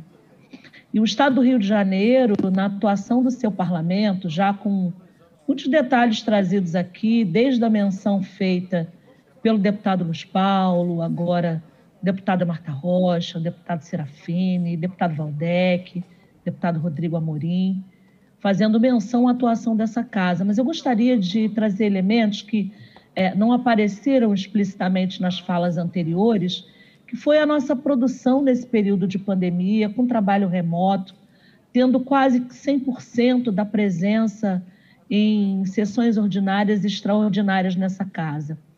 Eu sempre uso o termo impecável para colocar é, como adjetivo da atuação da Assembleia Legislativa, independente das matizes ideológicas que são importantes na estrutura das relações sociais é, entre grupos políticos, elas são fundamentais, né? a defesa das suas ideologias, dos seus nortes de pensamento, das formas e perspectivas é, da qual olham o mundo e constroem a sua forma de ação, nós produzimos incessantemente diversas respostas aqui às necessidades que eram mais urgentes e aquelas já vislumbrando sob a batuta de Vossa Excelência, porque a atividade coletiva ela também é resultado da atuação individual. O norteamento da atuação coletiva também passa pelo norteamento da ação individual.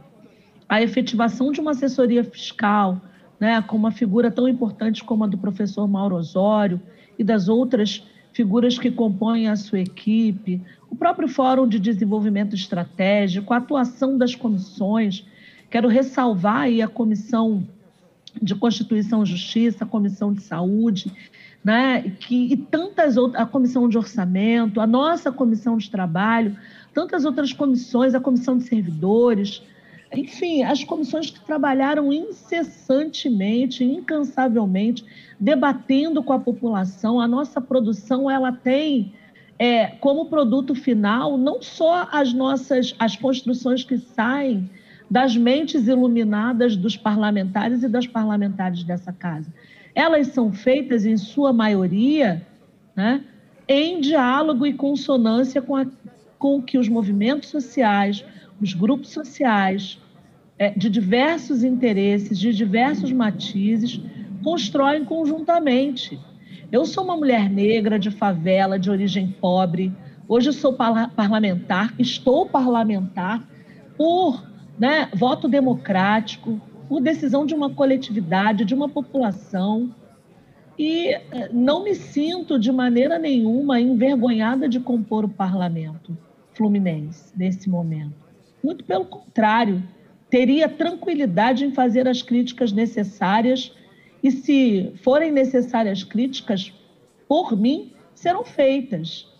Porque o que nós fizemos aqui, pelo menos nesse período pandêmico, eu quero fazer esse recorte, sou uma mandatária de primeiro mandato, é, tem sido realmente um trabalho impecável, com muitos desafios.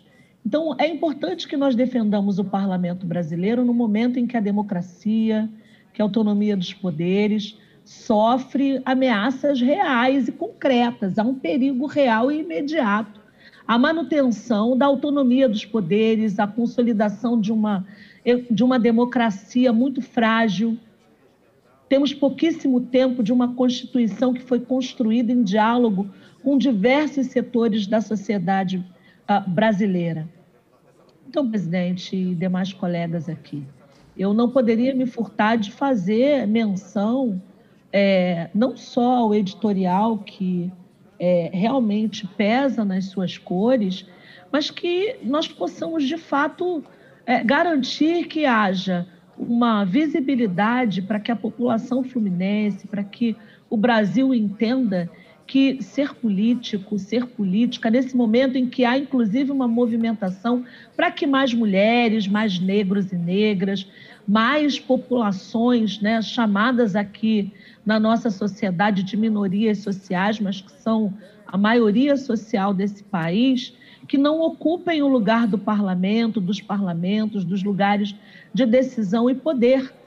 Então, precisamos reiterar a necessidade da ocupação dos parlamentos, da maior transparência, cada vez mais ascendente das suas ações e defender o parlamento fluminense. Para terminar minha fala, presidente, já que foram feitas falas muito melhores do que a minha aqui, é, mas eu não poderia me furtar também de fazer esse acréscimo.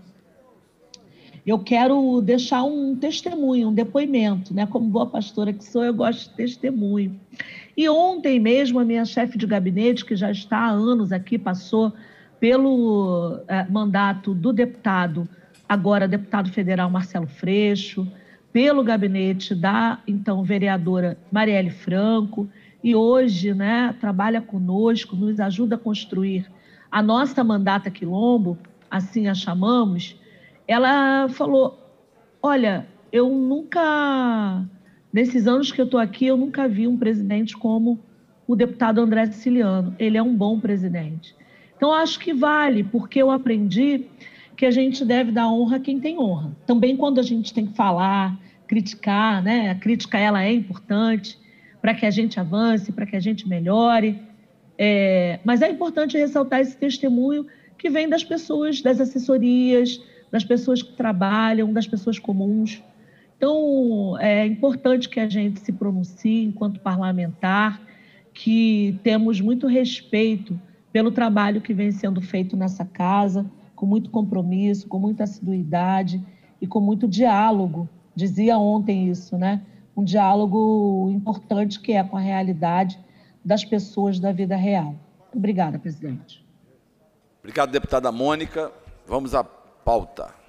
Anuncio em regime de urgência em discussão único projeto de lei 4090 de 21, de autoria do deputado Max Lemos, que dispõe sobre a garantia do direito de acompanhamento da, de acompanhante aos pacientes submetidos a cirurgias ou procedimentos relacionados aos sistemas reprodutor na rede pública e privada de saúde do Estado do Rio de Janeiro, pendendo de pareceres das comissões de Constituição, Justiça, de Saúde e de Orçamento.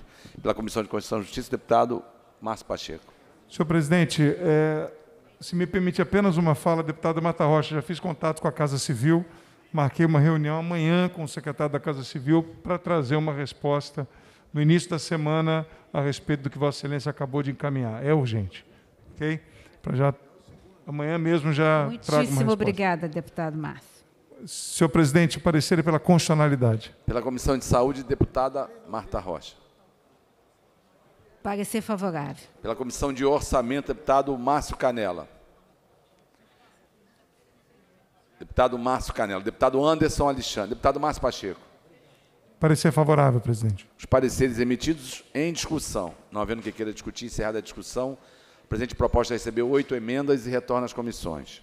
Em regime de urgência, em discussão único, projeto de lei 4292 de 21, de autoria dos deputados Marcos Vinícius e André Ceciliano que altera a Lei 8.804, de 6 de maio de 2020, que dispõe sobre a isenção do imposto sobre transmissão causa-mortes e doação financeira de quaisquer bens ou direitos, na forma que especifica. Pendendo de pareceres das comissões de Constituição, Justiça, de Saúde, de Ciência e Tecnologia, de Assuntos Municipais e Desenvolvimento Regional, de Economia, e Comércio, de Tributação, Controle da Arrecadação Estadual, Fiscalização dos Tributos Estaduais, de Orçamento, Finanças, Fiscalização Financeira e Controle. Para emitir parecer pela Comissão de Constituição e Justiça, nobre deputado Márcio Pacheco. Senhor presidente, o parecer é pela constitucionalidade com emenda e explico. A Fazenda, o projeto já inclusive tem um parecer favorável da Fazenda, mas é, é necessário uma regulamentação específica por conta de uma emissão de guia específica. Então, a emenda é apenas para a regulamentação da lei, e se faz necessária por conta de um trâmite interno da Fazenda. Por isso, pela constitucionalidade com emenda. Tá, eu quero um instante só, Márcio, por favor. Deputado Márcio Alberto, ainda está? No plenário, deputado Márcio. Tem emenda, presidente? Então, ok. Tem uma emenda o projeto? Queria que Vossa Excelência conversasse com o autor da emenda ver se pode acatar a emenda no parecer.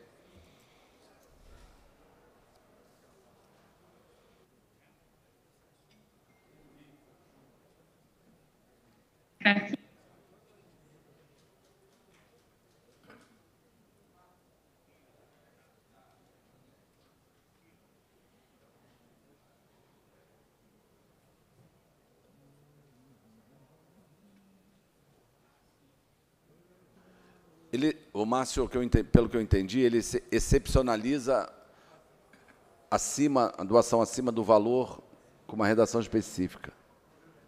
Eu acho que talvez, se você, Vossa Excelência acatar, teria que ser um parágrafo.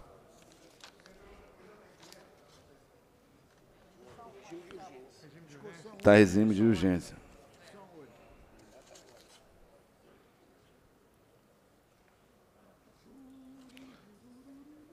Pelo-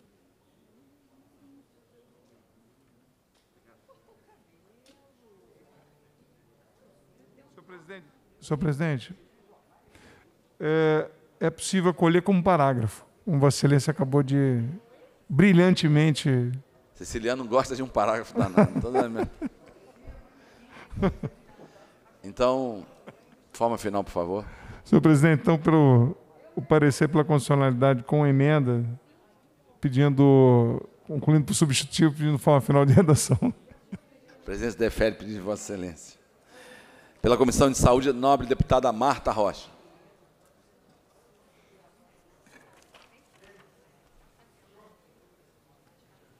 Parecer favorável. Pela Comissão de Ciência e Tecnologia, deputado Valdec Carneiro.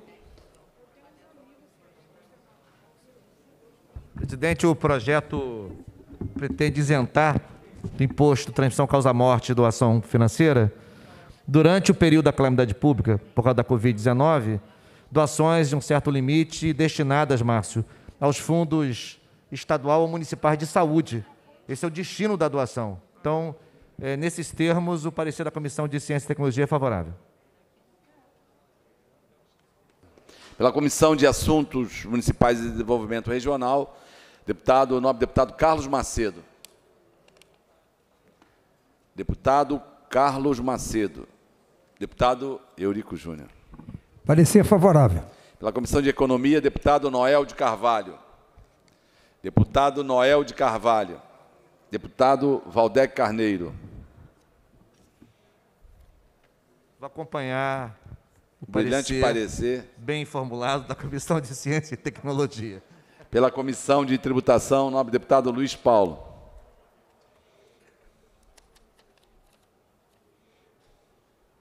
Senhor presidente, pode ter certeza que não vou abrir a divergência.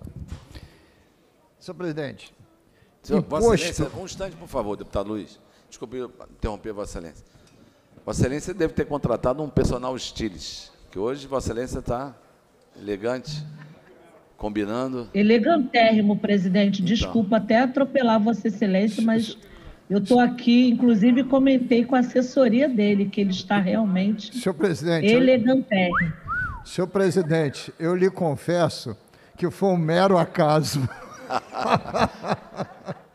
Presidente, eu só lembro que o deputado Carlos Mink tinha prometido um colete ao deputado Luiz Paulo na última sessão plenária lá no Barbosa Lima Sobrinho. Estamos aguardando todos para saber Vou levar terça-feira. Terça-feira. Maravilha, eu, eu, eu aceito e usarei. Mas, senhor presidente, com a pandemia, o ITCMD, Imposto de Transmissão de Causa Mortes e Doação, é um, que, um dos impostos que tem mais crescido.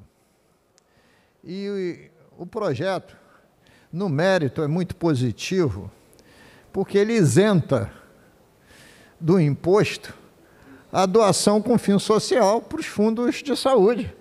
Então não faz menor sentido se a pessoa está doando, ainda vir tirar o imposto e alocar imposto em cima.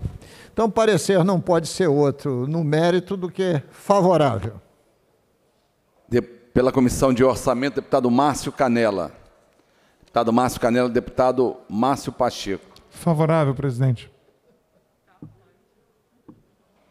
Com os pareceres emitidos, Em discussão. Não havendo que queira discutir, encerrada a discussão. Em votação, o substitutivo da CCJ com forma final de redação, que a presidência já deferiu. Os senhores que aprovam permaneçam como estão. Aprovado, vai a autógrafo.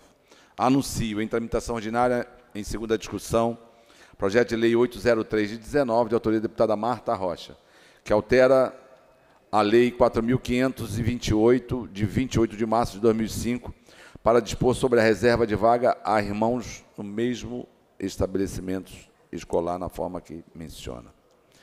Eu quero, antes de, de discutir a matéria, tem uma emenda, vamos olhar aqui.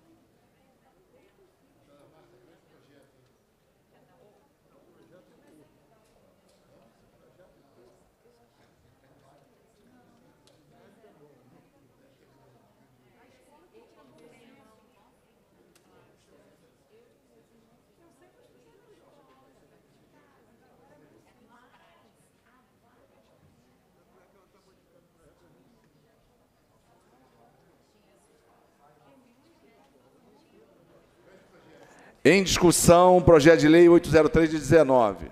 Não havendo que queira discutir, encerra a discussão. Presente proposta para discutir. 803 de 19, deputada Tia Ju. Presidente, me permita rapidamente, Por favor. a Tia Ju se desloca. É, eu só queria fazer duas ponderações. A primeira, pedir a Vossa Excelência que o projeto retorne na semana que vem.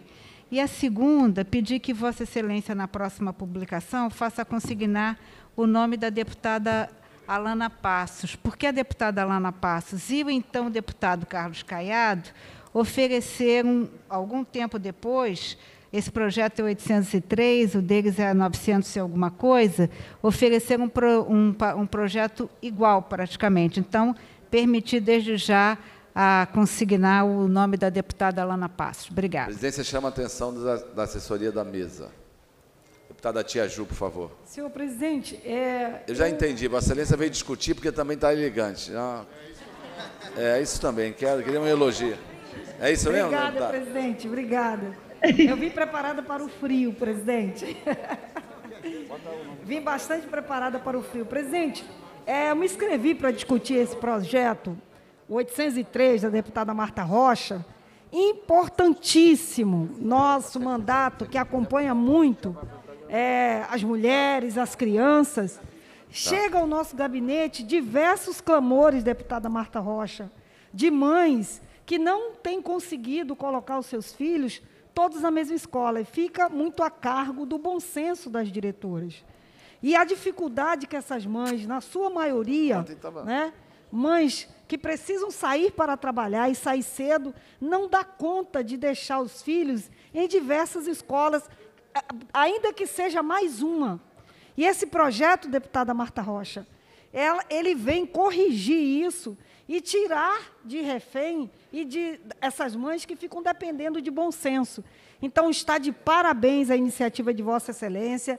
Isso vai ser de um ganho imenso para essas crianças e para essas mães, para esses adolescentes, porque às vezes são adolescentes que estudam na escola e que a escola uma é próxima da outra, mas que há uma dificuldade de levá-los de uma escola até a outra. Na verdade, não há tempo hábil e essas mães precisam trabalhar. Então, parabéns é, por essa iniciativa. Vai ser excelente e muito bem-vindo este projeto de Vossa Excelência para esses alunos da nossa rede pública de ensino. Obrigado, presidente. Não havendo quem queira para discutir, deputado Eurico Júnior. Deputada Célia, por favor, aqui, no, aqui na mesa, um instante só. Eurico. Queria parabenizar Deputado também a Eurico, um instante, deputada por favor. Marta Rocha. Deputado A deputada- Eurico, um instante, por favor. Deputada Célia, por favor, aqui. E Deputado Rodrigo Amorim, por favor. Com a palavra o deputado Eurico Júnior, desculpa. Queria parabenizar a deputada Marta, deputada Alana, por essa iniciativa Eu fui por três vezes secretário municipal de educação. Sei que que é uma logística de transporte escolar no interior. Só o município de Partido Alferes são 37 veículos municipais que fazem a rota, atendendo os alunos da zona rural, trazendo para o centro. E o transtorno que tem quando você tem um aluno numa escola, é, um irmão numa escola e outro na, em outra escola. É uma loucura. E você, mesmo quando a gente está secretário, você conversa com a diretora, e, e é uma dificuldade e as mães ficam loucas. Então, essa iniciativa é muito importante e eu tenho certeza que vem somar muito, que aí você passa a não depender mais da boa vontade das diretoras, uma coisa se tornando lei. E no nosso município, a gente fez uma, uma lei é, obrigando que todos os alunos possam ficar o mais próximo possível das suas casas para evitar que eles acabassem indo para duas escolas. Então, parabéns, deputada Alana, e parabéns, deputada Marta, pela iniciativa. Continue em discussão. Não havendo que queira discutir, encerrada a discussão. Presente proposta, a deputada Marta. Não, eu só estava aqui discutindo com a CCJ e aí surgiu a possibilidade, a emenda, ela fala de uma, ela pede uma regulamentação específica e, e faz a questão aí, desde que não tenha como meio de admissão o processo seletivo específico. Então, se for possível, o senhor chamar os trabalhos à ordem e pedir para a Comissão de Educação acolher a emenda, e aí a gente já soluciona.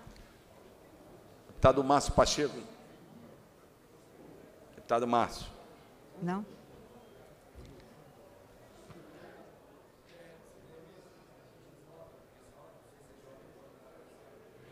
Eu fiz esse questionamento, a CCJ me disse que não, por isso que eu estou. Tá bom. CCJ. Deputado Márcio Pacheco, por favor.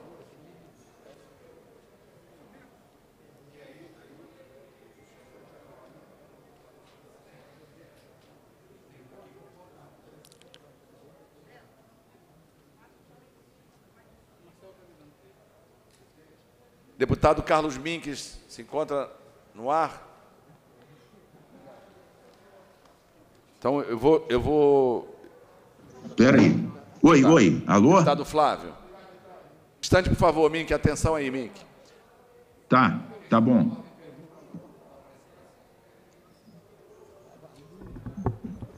Questão de ordem, senhor presidente. Estou atento. Então, Mink, nós temos uma emenda ao projeto de lei da deputada Marta Rocha. A Comissão de Educação vai fazer uma questão de ordem, porque não tem um parecer da Comissão de Educação. E ele vai acatar a emenda que foi produzida no projeto, e depois eu vou chamar o relator, vou fazer uma questão, vou fazer os trabalhos, chamar os trabalhos à ordem, vou chamar o relator, que foi Vossa Excelência. Então, Vossa Excelência irá refazer o parecer da CCJ conforme final de redação, acatando a emenda da Comissão de Educação. Por aí, deputada Marta? É perfeito. É Combinado, combinado. Então, questão de ordem, deputado Flávio. Senhor presidente, é para solicitar que a Comissão de Educação possa dar parecer. A presidência defere pedir Vossa Excelência. Bom, senhor presidente, em primeiro lugar, elogiar a iniciativa da deputada Marta Rocha. Esse é um tema fundamental. A gente sabe que é, as mães, especialmente, mas as famílias de maneira geral, muitas vezes têm que se desdobrar porque tem filhos que acabam matriculados em escolas diferentes e aí é uma loucura, principalmente quando são crianças pequenas, é, para garantir que todas possam frequentar a escola. E com essa lei, a deputada Marta Rocha é, ressalta que esse critério é um critério fundamental para você garantir que irmãos possam frequentar a mesma escola. Com o objetivo, então, de aperfeiçoar o projeto, é, a gente dá o parecer favorável com emenda é, pedindo, né, por substitutivo, é não podendo, com emenda. Eu chamar, com emenda. Eu chamo agora os trabalhos à ordem e vou colher de novo o parecer da Comissão de Constituição e Justiça, que tem que pedir forma final de redação, conclu... acatando a emenda da Comissão de Educação, concluído por substitutivo e forma final de redação.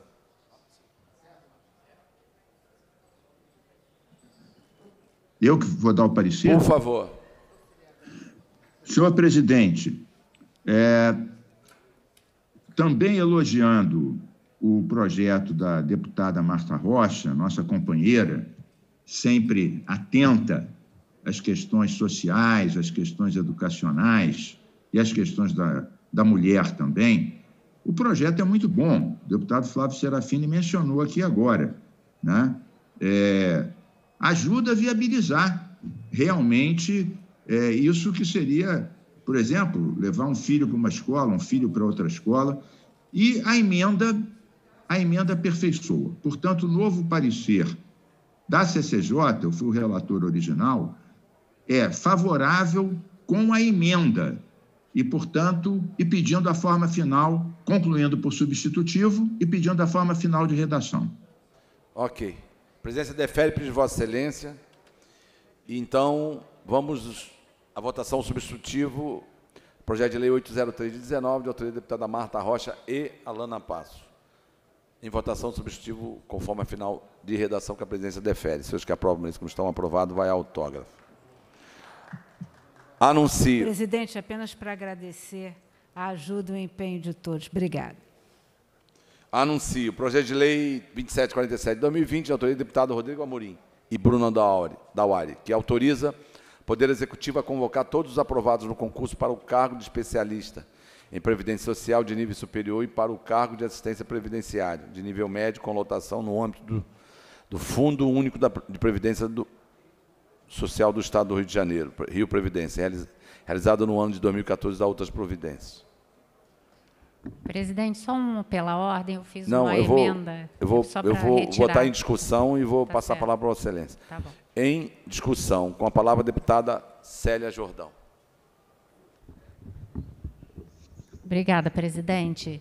Eh, Eu apresentei uma emenda supressiva ao artigo da PL, que é de autoria do deputado Rodrigo Amorim, do Bruno Dauaire, mas eh, em acordo não é, com a solicitação do deputado Rodrigo Amorim, né, que traz aqui a palavra também do autor da matéria, eu retiro a minha emenda. A presidência agradece a Vossa Excelência em nome do deputado, dos deputados Rodrigo Amorim e Bruno Dauari. Deputada Tia Ju, para discutir. Uma questão de ordem bem rapidinho. É só que a deputada Marta Rocha autorizou a coautoria no projeto 803. Ok, vamos terminar isso e chamo a atenção da, da assessoria. Não havendo quem queira discutir, encerra a discussão em votação, projeto de lei 2747 de 20, seus que aprovam nesse como estão aprovados, e a mesa agradece a deputada Célia Jordão. A presidência chama a atenção da assessoria da mesa em relação ao projeto anterior, projeto 803 de 19, de autoria das deputadas Marta Rocha, Alana Passo e Tia Ju. Então, foram incluídos Alana Passo, Tia Ju, tem mais não? Deputado Eurico Júnior. deputada Renata. Deputado e Bebeto está pedindo, deputado Samuel Malafaia, Valdeques, Dionísio Lins, Flávio Serafim, Célia Adriana Baltazar, Mônica Francisco, presidente. Mônica Francisco e Carlos Mink. Ok. Daniel Librelon e Rodrigo Amorim. Não pode porque é de 19, Jami. Tá? Eu acho que o Eurico também vai ter dificuldade. Deputado Luiz Paulo. Deputado Samuel já foi incluído. Samuel Mink. Bebeto. Subtenente Bernardo. Bernardo falou ontem para mim, Luiz, que tem um slogan. Um slogan. Como é que é? Sub. sub- Congelou no. Ele gosta de se ver na, na televisão. Deputado Sub Bernardo. É que ele está submerso, os peixes estão nadando. Subtenente Bernardo. Congelou. Anuncio, em primeira discussão, projeto de lei 422-2015, de autoria do deputado Bebeto, que institui a Semana de Conscientização dos Direitos dos Animais no Estado do Rio de Janeiro e da outras providências.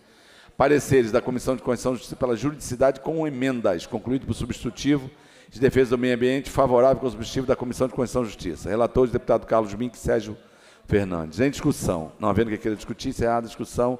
Em votação, substitutivo da Comissão de Constituição e Justiça. Seus que aprovam a como estão em primeira, vai a redação do vencido para a segunda discussão. Projeto de Lei 3997, de 18, de autoria do deputado Marcos Miller, que dispõe sobre a obrigatoriedade de, de fixação de cartazes em bares, restaurantes, mercados, lanchonetes, hotéis e congêneres, alertando para os perigos de danos decorrentes da ingestão de bebida alcoólica por gestante e o risco de desenvolvimento da síndrome alcoólica fetal no estado do Rio desde janeiro e da outras providências. Está aberto o som, subtenente. Pareceres da Comissão de Constitucionalidade com emendas, concluído por substitutivo. De saúde favorável, de economia e de comércio favorável com substitutivo da Comissão de Constituição e Justiça. Relatores, deputado Max Lemos, Marta Rocha, Tiago Pampulha. Em discussão, não havendo que queira discutir, encerrada a discussão, a presente proposta recebeu quatro emendas e retorna às comissões. Em discussão, único projeto de resolução 538 de 21, de autoria do deputado Marcos Abrão, que concede o prêmio Ana Neri da Saúde à soberana, à soberana Ordem Hospitalária São João Jerusalém de Rhodes Maltas. Parecida a Comissão de Normas Internas e Proposição Externa, favorável, relator deputado Márcio Canela. Em discussão, não havendo que queira discutir, encerrada a discussão, em votação, os senhores que aprovam, permaneçam como estão aprovados, vai a promulgação, com voto pela abstenção do novo. Seu som está aberto, Samuel. Anuncio. Projeto de resolução 553 de 21, de autoria do deputado Samuel Malafaia. Concede a medalha Tiradentes, o respectivo diploma, à base aérea de Santa Cruz, pelos inestimáveis serviços prestados. Parecer da Comissão de Normas Internas e Proposições Externas, favorável, relator deputado Rodrigo Amorim. Em discussão.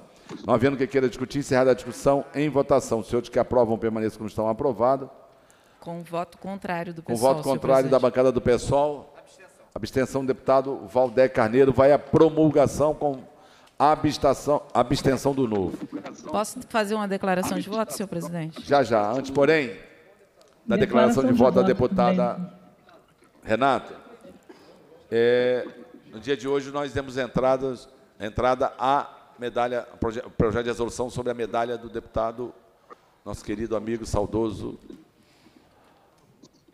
eu quero saber, José Távora, eu quero saber se há outros parlamentares que queiram ser coautores ao projeto. Então, o deputado Luiz Paulo, Dionísio Lins, Eurico Júnior, Rodrigo Amorim, Tia Ju, Jalmir, Bebeto, Samuel Malafaia, Daniel Librelon, Carlos Mink, Wellington Carlos Mink, Chiquinho da Mangueira. Ok. Para discutir, presidente. Aliás, desculpe, declaração de voto. Declaração de voto da deputada Renata, em seguida da deputada Mônica Francisco. Presidente, o meu não é uma declaração de Muito voto. Obrigado. É um pela Deixa ordem. Só para um pedido de inclusão, saber como Vossa Excelência procede, se eu posso encaminhar Vossa Excelência, já protocolei. Fazer Dá- esse pedido aqui, formal. irmão. Obrigado, presidente. Deputada Renata e deputada Mônica, nós temos um minuto e 28 segundos. Mais rápido. Antes do término do tempo regulamentar, que agora, ó, precisão, ó. Muito rápido, senhor presidente. Só para declarar o voto contrário é, da medalha Tiradentes e o respectivo diploma Base Aérea de Santa Cruz, porque entendemos e acompanhamos os trabalhos da Comissão Nacional da Verdade, que revelou para o mundo e para o Brasil o quanto que essa base aérea pode ter é, sido utilizada na época da ditadura militar, na época da, de um governo autoritário e de perseguição e ameaça àqueles que eram contra o regime militar, justamente de ter ocultado o corpo é, de Stuart Angel. Isso é muito sério e, por óbvio, senhor presidente, quem revelou isso à Comissão Nacional da Verdade foi o capitão da Aeronáutica reformado, Álvaro Moreira de Oliveira Filho, e, portanto, é por isso que nós votamos contra a essa honraria para a base aérea de Santa Cruz. Muito obrigada, senhor presidente. Deputada Mônica Francisco. Muito obrigada, presidente. Eu vou na esteira da fala eh, da Renata Souza em relação a essa honraria.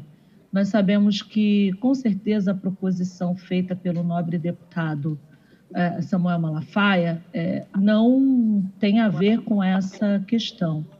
Mas por uma questão muito, muito importante, nós tivemos aqui hoje, inclusive, na fala do deputado Márcio Pacheco, a alusão ao depoimento emocionado do nosso companheiro deputado Carlos Mink sobre os períodos de tortura que viveu é, nesse país. E nós sabemos o que foi as, as, os detalhes da morte de Stuart Angel e também da sua mãe, a estilista Zuzu Angel. Nós vivemos um período de extrema fratura e fragilidade da democracia aqui no Brasil. Nós estamos vendo uma escalada de tentativas de é, fazer com que a nossa democracia, tão novinha, tão frágil ainda, não se efetive. Há também uma série de eventos que ressaltam os lugares de memória, os monumentos ao terror, à tortura, à morte, ao genocídio, sendo questionadas pela população brasileira. Nós sabemos que esses lugares de memória eles devem servir ao, ao, à transparência, à elucidação de ações criminosas cometidas contra civis, por exemplo, no caso é, da figura de Stuart Angel e tantos outros, muito atrelada a essa base é, de Santa Cruz. É uma base importante, mas nós não podemos apagar o que foi o impacto desse processo na é, democracia brasileira. Então, a forte repercussão internacional desse caso, a repercussão negativa né, da entrega dessa medalha em diversos setores, entre defensores e defensoras de direitos humanos, ativistas, aqueles que até hoje, aquelas que buscam memória, verdade e justiça, transparência das ações que aconteceram nos porões da ditadura, né? É, que seja de fato um momento de aprendizado para que a gente não volte a viver. Nós não queremos mais que as alegorias do terror, os lugares de memória de morte, de genocídio, sejam laureados pelos parlamentos brasileiros, tanto menos pelo parlamento fluminense. E é em memória, como dizemos nas nossas, é, nos nossos momentos. Mônica, por favor, para concluir, por favor. Só para concluir, pelos nossos mortos, nenhum minuto de silêncio. Nós não queremos mais lugares de terror sendo laureados. Muito obrigada, presidente. Um minuto para declarar, presidente. Por favor. Senhor presidente, eu quero declarar o voto contrário, acompanhando o conjunto da bancada do PSOL, a concessão da medalha Tiradentes à base aérea de Santa Cruz. Como foi dito aqui pelas deputadas que me antecederam, a base aérea de Santa Cruz é, foi um dos locais utilizados durante a ditadura civil-militar para a prática de prisões ilegais, torturas e até mesmo assassinatos, segundo o relatório da Comissão Nacional da Verdade, segundo o relatório da Comissão Estadual da Verdade. E aí não é um detalhe a gente é, conceder uma honraria a um espaço que traz esse histórico sem fazer nenhum tipo de registro sobre o que foi esse histórico, das práticas violentas, das práticas ilegais, das práticas que atentaram não só contra a democracia, mas contra a vida de brasileiros e brasileiras. Então, a gente registra aqui o nosso voto contrário, reafirmando o nosso compromisso na luta por memória, verdade e justiça, na luta em defesa da democracia. Ok. Nada mais a tratar na ordem do dia. Só uma questão de ordem. Questão de Eu queria ordem pedir ab- deputada ab- abstenção nessa, nessa medalha, senhor presidente. É, extensão, deputada Tia Ju. Também minha, também minha. Deputado Carlos, Carlos Mink. Bem, eu, com todo respeito aos companheiros, claro, terrível parte da história, mas a base aérea não faz isso. Quem faz é o ser do humano. Mas eu respeito a opinião de cada um de vocês. Não é o ser humano, é o ser do humano. Então, nada mais a tratar na ordem do dia. A presidência, antes de encerrar os trabalhos, há sobre a mesa requerimento de inclusão na pauta. Requer inclusão na, na ordem do dia dos projetos de lei 3674-21, 4249 de 21, 42614 de 20, deputado Rodrigo Amorim. Seus que aprovam, permaneçam como estão aprovados. Requer inclusão na ordem do dia do projeto de lei 166219, deputado Valdeir Carneiro. Seus que aprovam, permaneçam como estão aprovados. Requer inclusão na ordem do dia do projeto de lei 38, 386121, deputado Valdeir Carneiro. Seus que aprovam, permaneçam como estão aprovados.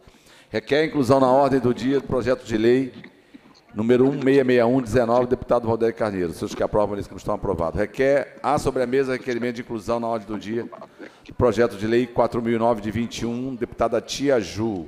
Senhores que aprovam, eles como estão aprovados. Requer inclusão na ordem do dia do projeto de lei 414021, deputada Tia Ju. Senhores que aprovam, eles como estão aprovados. Requer inclusão na ordem do dia do projeto de lei número 416221, Deputado Eurico Júnior, senhores que aprovam, a como estão aprovados. Requer inclusão na ordem do dia do projeto de lei 380321, deputado Eurico Júnior, senhores que aprovam, a como estão aprovados. Requer inclusão na ordem do dia do projeto de lei 427121, deputado Eurico Júnior, senhores que aprovam, a como estão aprovados. Está encerrada a ordem do dia, passa-se ao expediente final. O primeiro orador inscrito é o nobre deputado elegante Luiz Paulo.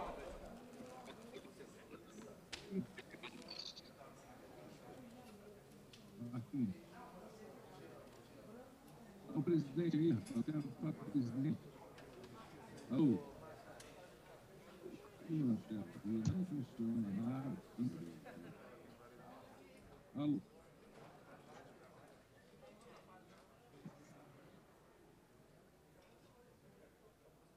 O Marquinhos. Senhor presidente, André Siciliano, senhores deputados, senhoras deputadas, presentes no plenário ou aqui participando de forma remota.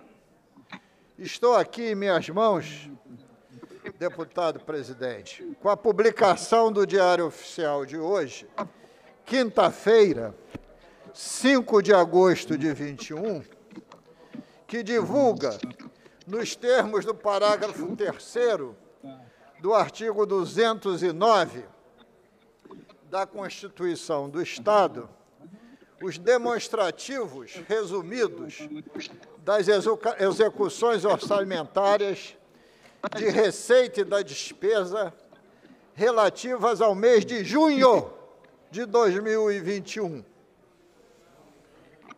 emitidos através do CIAF Rio, referentes à administração direta e indireta.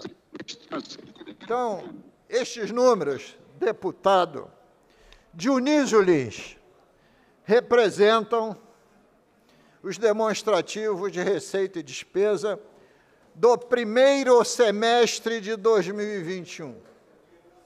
Cabe ressaltar que as séries históricas demonstram que sempre o segundo semestre a arrecadação avança um pouco mais em relação ao primeiro, por causa da chegada das festas natalinas. Apesar que o ICMS recolhido em dezembro vai cair nas contas de janeiro do ano seguinte, porque se fecha os montantes, em geral, até o dia 10 do mês seguinte. Então, a perspectiva é que o segundo semestre seja melhor do que o primeiro. Dito isso, eu queria, em complementação da fala do deputado André Siciliano, fazer pequenas observações a respeito do demonstrativo das receitas. E vou chegar lá porque o relatório é bastante grande. Eu tenho que ir virando página por página.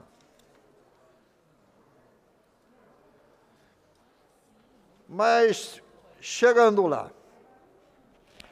As receitas correntes até o presente mês de junho foi de 47,5 bilhões de reais, de uma previsão de 81,5. Então, as receitas foram de 58,3%, o que indica que essas receitas vão fechar o ano com um crescimento superior a 10 pontos percentuais. Os impostos, deputado Dionísio Lins. Deputado, Vossa Excelência me concede uma parte, deputado Luiz? Perfeitamente agora. É... Eu estou falando em junho, viu, presidente? Tá, mas é porque tem aqueles abatimentos dos repassos. Sim, mas eu estou falando no total. E eu quero fazer, me permitir discordar de Vossa Excelência. Pois o, não. A receita do segundo semestre vai subir, a minha opinião. Mas por eu tô- conta dos royalties e por conta do, especificamente por conta do preço do barril do petróleo e do câmbio. Mas sempre as receitas do primeiro semestre, elas são maiores por conta do IPVA. Sim, presidente. E o reflexo de dezembro, como Vossa Excelência mesmo falou. Mas, por acaso, na minha opinião, a receita será melhor no segundo semestre por conta do câmbio, do preço do barril de petróleo e por conta da economia que está melhor mesmo. Vou chegar lá, senhor presidente. Depois eu queria analisar os impostos. Os impostos, o previsto era 55,3 e o arrecadado foi 32,5. Então, um crescimento, né, um, um percentual de 58,87%. Somente o ICMS, senhor presidente, e somente o ICMS, e aí não está o IPVA, o IPVA está dentro dos impostos totais, a previsão era 43,3, foi arrecadado 25. Então, foi 57,7%. E ainda mais, senhor presidente, chegando na parte que Vossa Excelência está querendo realmente citar. As receitas patrimoniais previstas eram de 13,6, viu, senhor presidente? 13,6. E foi arrecadado até junho 7,9. Por via de consequência, royalty participação especial já atingiu a marca de 58,1%. Queria alertar a Vossa Excelência que fiz diversas simulações sobre esse item, de quanto nós vamos fechar o ano no quesito royalty participação especial. E aí queria fazer um desafio a Vossa Excelência. Eu disse aqui, senhor presidente, que a previsão do royalty PE é 13,6 no orçamento. Vou chegar lá. Nós arrecadamos 7,9, 58,1%. Agora, peguei e fiz diversas simulações, diversas, para saber quanto a gente ia dispor no fundo soberano. Primeiro, eu me exaltei, porque achei que o barril ia ficar a 90. Mas, depois que a Rússia acertou com a OPEP aumentar a produção para tentar vi- inviabilizar a produção do petróleo através do xisto betuminoso dos Estados Unidos, o barril vai oscilar em torno de 70 dólares. 70 dólares.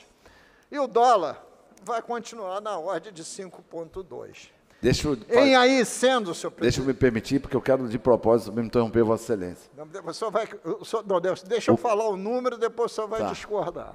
Então, no mínimo, no mínimo, nós vamos chegar a 16 17,6. vamos ter um ganho a maior de 4 bilhões. De 4 bilhões. 4 bilhões, na minha primeira interpretação, alocando aí 30% de fundo soberano, iria para o fundo soberano 1.2. Mas Vossa Excelência diverge da minha interpretação, porque Vossa Excelência considera que o cotejo seja entre o arrecadado deste ano com o arrecadado do ano passado. Então, se for essa a conta, de 17,6 eu tirar 11,6, que foi do ano passado, são 6 bilhões. Logo, 30% de 6 bilhões dá 1,8. Então, queria agora que Vossa Excelência discordasse. Em primeiro que o petróleo já bateu 74,8, quase 75 dólares, voltou a 68, está em 71 e alguma coisa hoje. E a queda justamente não por conta da questão da Rússia, na minha opinião. Segundo os analistas, da variante Delta, por conta da variante Delta, e a partir de agosto, o acordo com a OPEP é 400, serão adicionado 400 mil barris dia a mais de produção, que não é nada. Se a economia voltar, isso aí, aí sim, naquela previsão de 90 dólares é possível, mesmo com esse aumento a cada mês de 400 mil barris. Mas o que fez o petróleo chegar quase 75 e voltar a 68 foi variante Delta, segundo os analistas, o aumento do estoque do governo americano, e é isso aí. Mas eu queria saber. Mas já voltou a 71. Veio, qual, a, 70, veio a 68 e voltou a 71. Qual é o seu número? Não, meu número era da ordem de 17 bi, comparado com 11,4 a minha arrecadação. Vossa Excelência falou 11,6, eu vou respeitar que Vossa Excelência está lendo. Não, não, não, não. Mas, lendo... mas é possível, inclusive, é possível, na minha opinião, que ultrapasse essa estimativa de Vossa Excelência. Eu estou dizendo que a edição 17 bi não é agora, desde o início do ano. Sim, mas eu estou dizendo agora. É, mas. e, é, e é verdade, a nossa lei é acima do que arrecadou o ano anterior. Porque senão a gente vota aqui todo ano um, valor menor para que a gente pudesse claro, claro. adicionar mais recursos. Então, mas a, a meu, meu estimado é da ordem de 2 bi no, no, no, fundo. Então estamos muito próximos. Mas eu, eu, eu quis trazer esses números só para fechar a fala, deputado Valdec que esse aumento de arrecadação também se deve a um esforço conjunto do parlamento fluminense, em diversas proposições legislativas, em CPI, em debates, quer seja no âmbito do parlamento, no âmbito das comissões, na assessoria fiscal. O parlamento está muito melhor qualificado para esse embate em relação à economia do Estado do Rio de Janeiro. Então, propositadamente, coloquei esses números para demonstrar que arrecadaremos, tanto em contribuição patrimonial quanto em impostos, mais do que previsto no orçamento. E o destaque serão os royalties e as participações especiais. Muito obrigado, senhor presidente.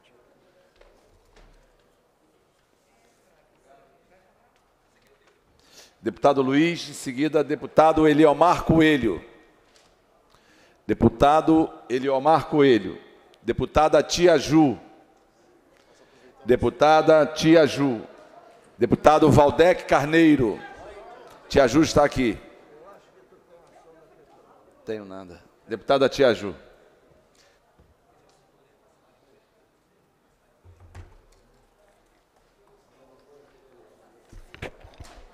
Senhor presidente, senhoras, senhores, deputados, deputadas, servidores dessa casa, aqueles que nos assistem pela TV Alege, nos acompanham pelas redes sociais. Deputado Valdec, deputado Dionísio Lins, Renata Souza, Flávio Serafim, é, nosso querido deputado Daniel Liberon, que preside a sessão nesse momento, eu quero aqui trazer dois pontos que julgo de extrema importância nesse dia. Um deles é falar dos 15 anos da Lei Maria da Penha. Nós estamos aí em comemorações do aniversário da Lei Maria da Penha.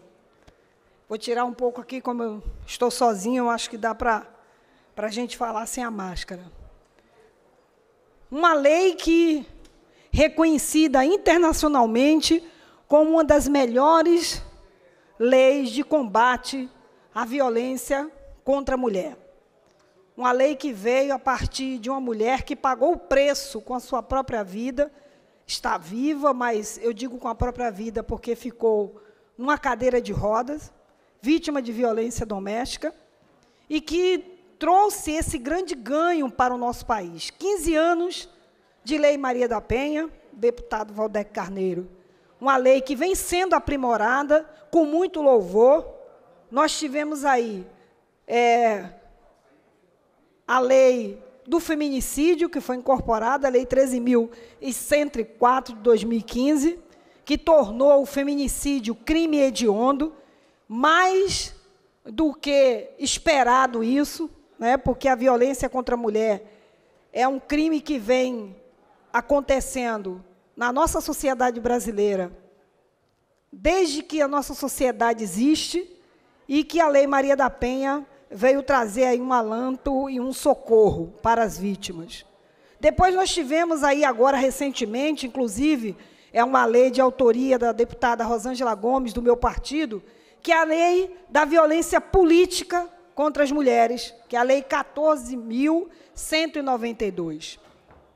Nós temos aqui no Estado o Estatuto da Mulher Parlamentar e Ocupante de Cargo Público, que é a lei da, de minha autoria. O nosso presidente está aqui me elogiando, dizendo da minha elegância. Agradeço, presidente, os elogios.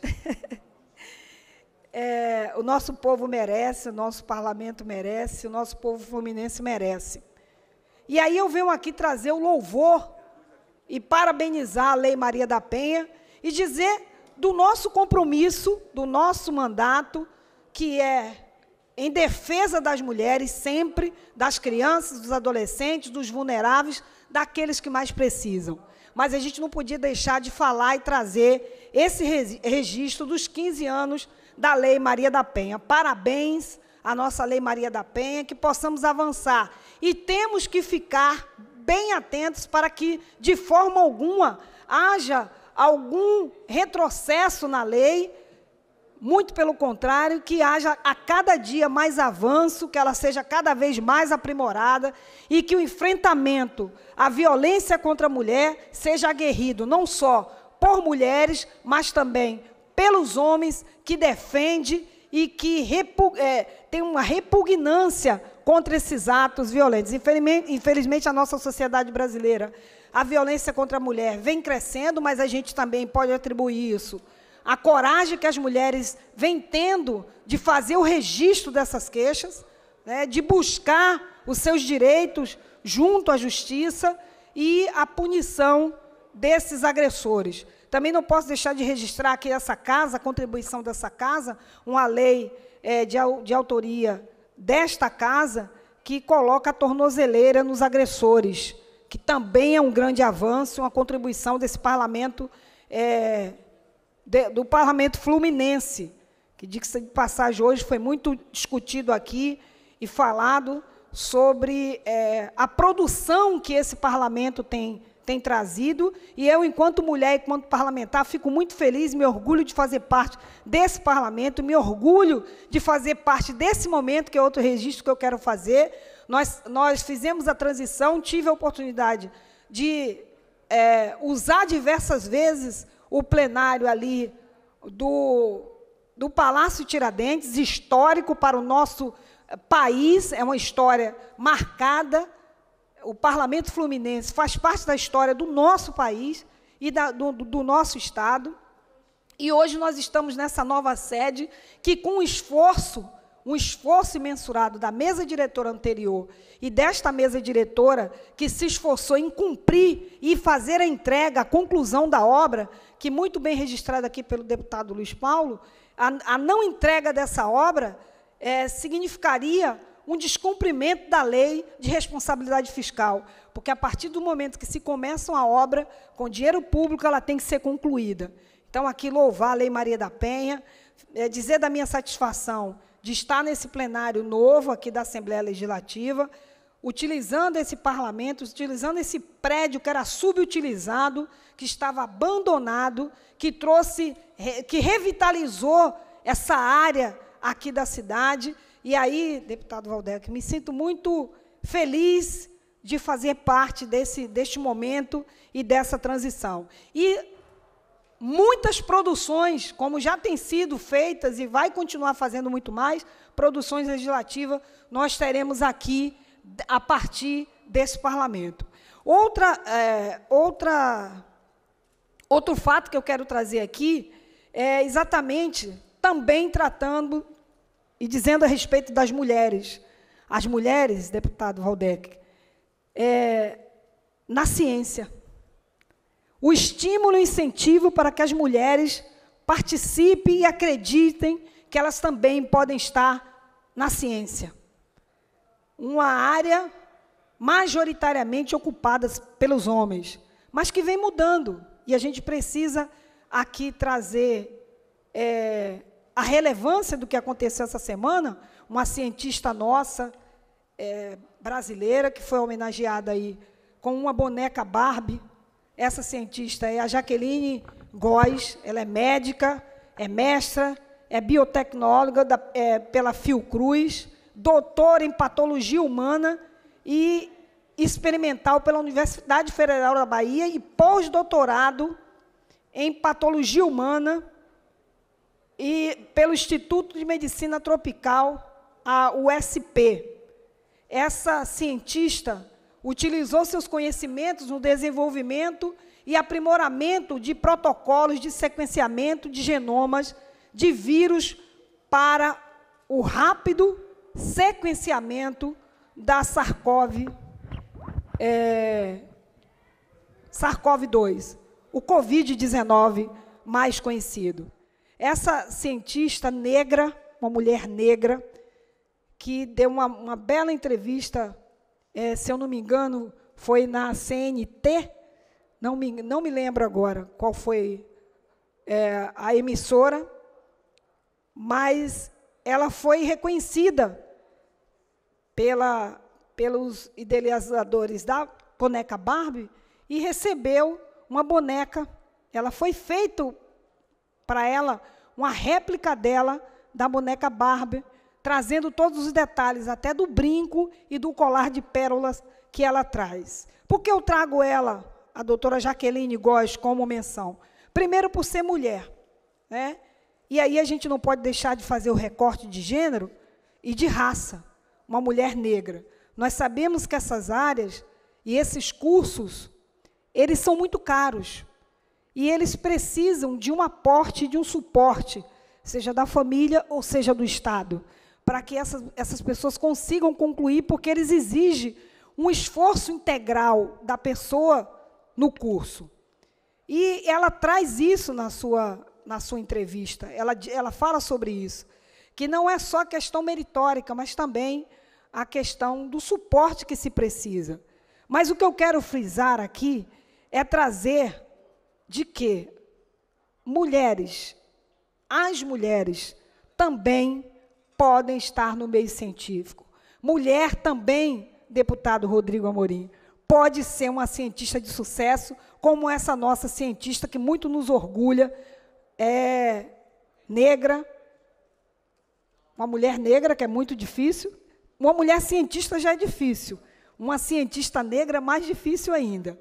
Mas que muito nos orgulha e que joga a luz na esperança de muitas meninas e mulheres que desejam é, está na ciência. Nós nem tínhamos, nem, nem imaginávamos que teríamos uma cientista negra sendo homenageada, e nós protocolamos dois projetos.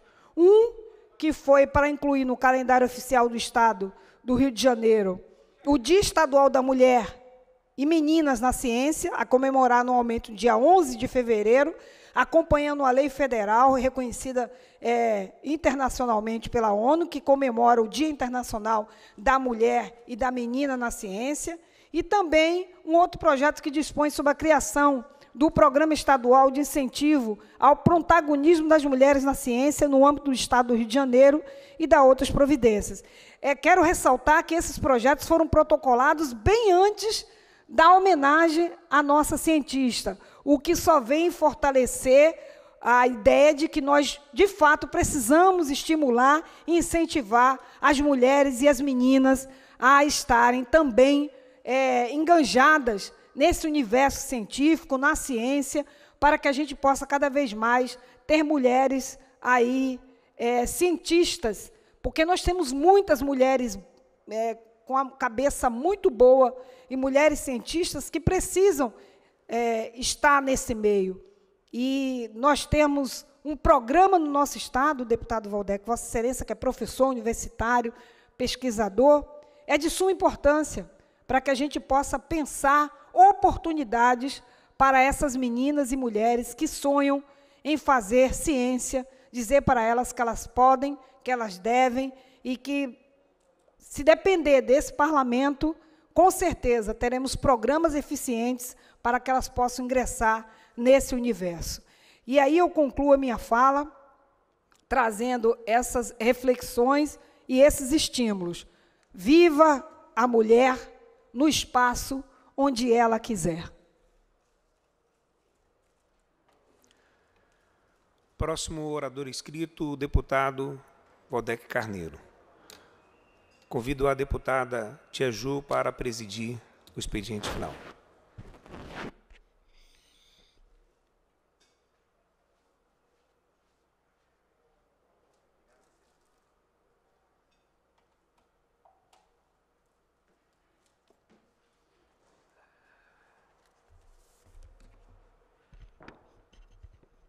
Deputada Tia Ju, que preside este expediente final e que a, acabou de usar a tribuna e fez uma intervenção muito densa e muito tocante. Deputado Felipe Rodrigo Amorim, de, senhoras deputadas, senhores deputados que ainda acompanham a sessão pelo plenário virtual, cidadãos e cidadãs que nos acompanham é, pela TV Alerj, nos seguem pelas redes sociais, imprensa, que faz o trabalho de cobertura jornalística das nossas sessões plenárias e os colegas e as colegas de trabalho da Assembleia Legislativa. Deputada Tia Ju, eu tinha me preparado para fazer um determinado pronunciamento, mas vou pegar aqui um rápido eh, atalho para fazer menção à última parte da sua intervenção, quando faz menção a esse patrimônio e orgulho da ciência brasileira e mundial, que é a pesquisadora cientista Jaqueline Góes, né, que se notabilizou diante da comunidade científica internacional, Rodrigo, porque ajudou a decifrar o DNA do novo coronavírus. Né? Portanto, uma pesquisa absolutamente central para que a ciência possa oferecer respostas contundentes ao enfrentamento da pandemia, do vírus e de suas perigosas e sorrateiras variações. É? Então, queria mencionar né, em coro ao que disse a deputada Tia Ju e falar é, do simbolismo é, de que essa figura pública da ciência brasileira possa se tornar popular por meio de um brinquedo, né? no caso, uma boneca, é? de modo que é, as mulheres de modo geral, as meninas de modo geral, as moças de modo geral, mas notadamente com esse corte racial, porque é, no Brasil, e na história brasileira, não vou discorrer sobre esse ponto aqui agora, mas a, a, a, a condição é, de ser negro, de ser negra, está, de modo geral, historicamente vinculada a uma condição de vida precarizada, desde a escravatura, marca terrível, indelével é, da nossa história. Então, assim, ter uma boneca é, simbolizando uma mulher é, é, é, reconhecida, prestigiada, é, que é uma mulher negra que teve um percurso de combatente, teve um percurso de combatente para chegar onde chegou, me parece um registro muito importante. Eu queria fazer, até lembrei, é, me foge o nome agora, mas os, os deputados aqui presentes devem conhecer, mas tem um filme muito interessante que retrata a situação de duas cientistas é, na NASA, nos Estados Unidos, né, dos anos 50, talvez, aproximadamente, e das dificuldades, sobretudo uma delas que encontrava para se afirmar naquela comunidade, predominantemente branca e masculina, não é? E, é, e ela que tinha, na verdade, a grande, a grande destreza, a grande capacidade de fazer os cálculos específicos né, para garantir as trajetórias é, dos foguetes que a NASA fazia orbitar né, em torno da Terra e tudo mais. Enfim, então, é, hoje o Brasil é, pode e deve continuar assistindo filmes com esse teor, mas hoje a gente tem uma cientista brasileira, além daqueles personagens, daquelas personagens do filme, a gente tem uma cientista brasileira, Jacqueline Góes, para se inspirar. E nesse sentido, eu quero linkar essa, essa parte da minha intervenção com a homenagem que acontecerá amanhã é, na Câmara Municipal do Rio de Janeiro. É, é oferecida, é homenagem organizada, proposta, aprovada por iniciativa da, da vereadora Tainá de Paula, é, que vai conceder a medalha Chiquinha Gonzaga para outra cientista negra, valorosa também, que nós conhecemos aqui, do Rio de Janeiro, que é a reitora da UESO, a professora Luanda Moraes, que é também outro orgulho da ciência brasileira, da ciência do Rio de Janeiro. Então, queria aproveitar essa ocasião. Eu não estarei presente amanhã, porque tenho é, uma agenda já marcada há muito tempo, duas agendas superpostas no mesmo horário, mas já fiz um vídeo com uma mensagem e me, me dirigi aqui à professora Luanda Moraes, reitora da UESO, é, cumprimentando pela homenagem que merecidamente vai receber amanhã na Câmara Municipal do Rio, saudando a vereadora Tainá de Paula pela iniciativa. Deputada Tia Ju. Eu queria também, agora tomando o rumo que eu tinha aqui traçado, eu quero continuar falando sobre Vossa Excelência. Não é? É, é, falando não apenas da sua elegância, já decantada aqui mais de uma vez, mas do conteúdo das suas atividades parlamentares. Né? E nesse sentido eu quero lembrar é, o projeto de lei de Vossa Excelência, de autoria de Vossa Excelência, que é, busca garantir que nas unidades é, do sistema socioeducativo, né, vinculadas no Rio de Janeiro ao DEGASE, ao Departamento Geral de Ações Socioeducativas, que nas unidades é, femininas, né, em que as adolescentes né, estão ali né, internadas, que haja apenas e exclusivamente é, é, agentes do sexo feminino. A gente tem, tem lidado é, com, com indignação, né, com indignação e com consternação também, as situações é, é, é, de agressões, né, estupros, ameaças, enfim, que pairam sobre essas adolescentes, de trajetória já sinuosa, pedregosa, senão não estariam ali. Não é? E o que a gente espera desses ambientes é o que o próprio nome desse sistema já apresenta. É um sistema socioeducativo, ou seja, um sistema que deveria apostar em processos de é, ressocialização que se baseiem né, na educação, que tenham como pilar, como eixo, né, os processos e práticas é, educativas, que, aliás, como prevê o Sistema Nacional Socioeducativo, o SINASE, mas que, infelizmente, é, é, é, é, muitas vezes parece ser letra morta da lei. E falo sobre isso, que o projeto de Vossa Excelência, que eu acho que deveria inspirar todos os estados da federação, foi, a meu ver, inexplicavelmente, surpreendentemente e, é, acrescento, inaceitavelmente vetado pelo governador Cláudio Castro. Eu acho que esse parlamento precisa é, é, é reafirmar a sua autonomia e derrubar esse veto. Precisa garantir que essa lei se consagre né, no arcabouço legislativo do Rio de Janeiro, no arcabouço legal do Rio de Janeiro, porque é muito importante garantir a integridade física, psicológica, emocional é, é, dessas, dessas adolescentes, e ao que parece, o que a gente precisa construir como alternativa diante dos fatos, diante das, das denúncias, diante dos acontecimentos. Aliás, acho que foi ontem que Vossa Excelência, o deputado Rodrigo Amorim aqui presente, fez menção a, a, a, a uma vistoria técnica né, que, que ambos fizeram né, é, nessas unidades. É muito importante que essa lei possa garantir né, é, que não é possível. Né? Eu conheço várias dessas unidades e, sinceramente, chamá-las de unidades socioeducativas ainda está longe, ainda está muito longe. Mesmo, assim, inclusive pelas atividades propriamente educativas ou educacionais que são, desenvolvidas ali, que são muito precárias e muito, muito limitadas. E mais ainda pela violência que estão né, é, ou a que podem ser submetidas, a que são submetidas essas adolescentes internadas. Então, quero dizer aqui dessa tribuna do nosso apoio incondicional à derrubada deste veto, que eu considero é, deplorável, né, deplorável, e não esperava, confesso que não esperava que o governador apusesse o seu veto a esse projeto tão importante nesse momento. É, é, isso dito, eu queria ainda, deputada Tia Ju, continuando o debate que fazíamos mais cedo, eu queria é, também trazer à baila, com a presença do presidente da Comissão de Servidores Públicos da Casa, né, é, fazer o debate é, sobre serviço público e servidoras públicas e servidores públicos. Ora, tem um argumento, mas tão, é, tão anacrônico, tão ultrapassado, não dá mais liga essa história de que você fazia a defesa da valorização, da profissionalização, da dignificação do serviço público, de seus servidores e suas servidoras, isso significa é, é, fazer um debate estritamente corporativo. Ora, quem é que garante, quem é que garante, no dia a dia do funcionamento das máquinas públicas, a prestação dos serviços?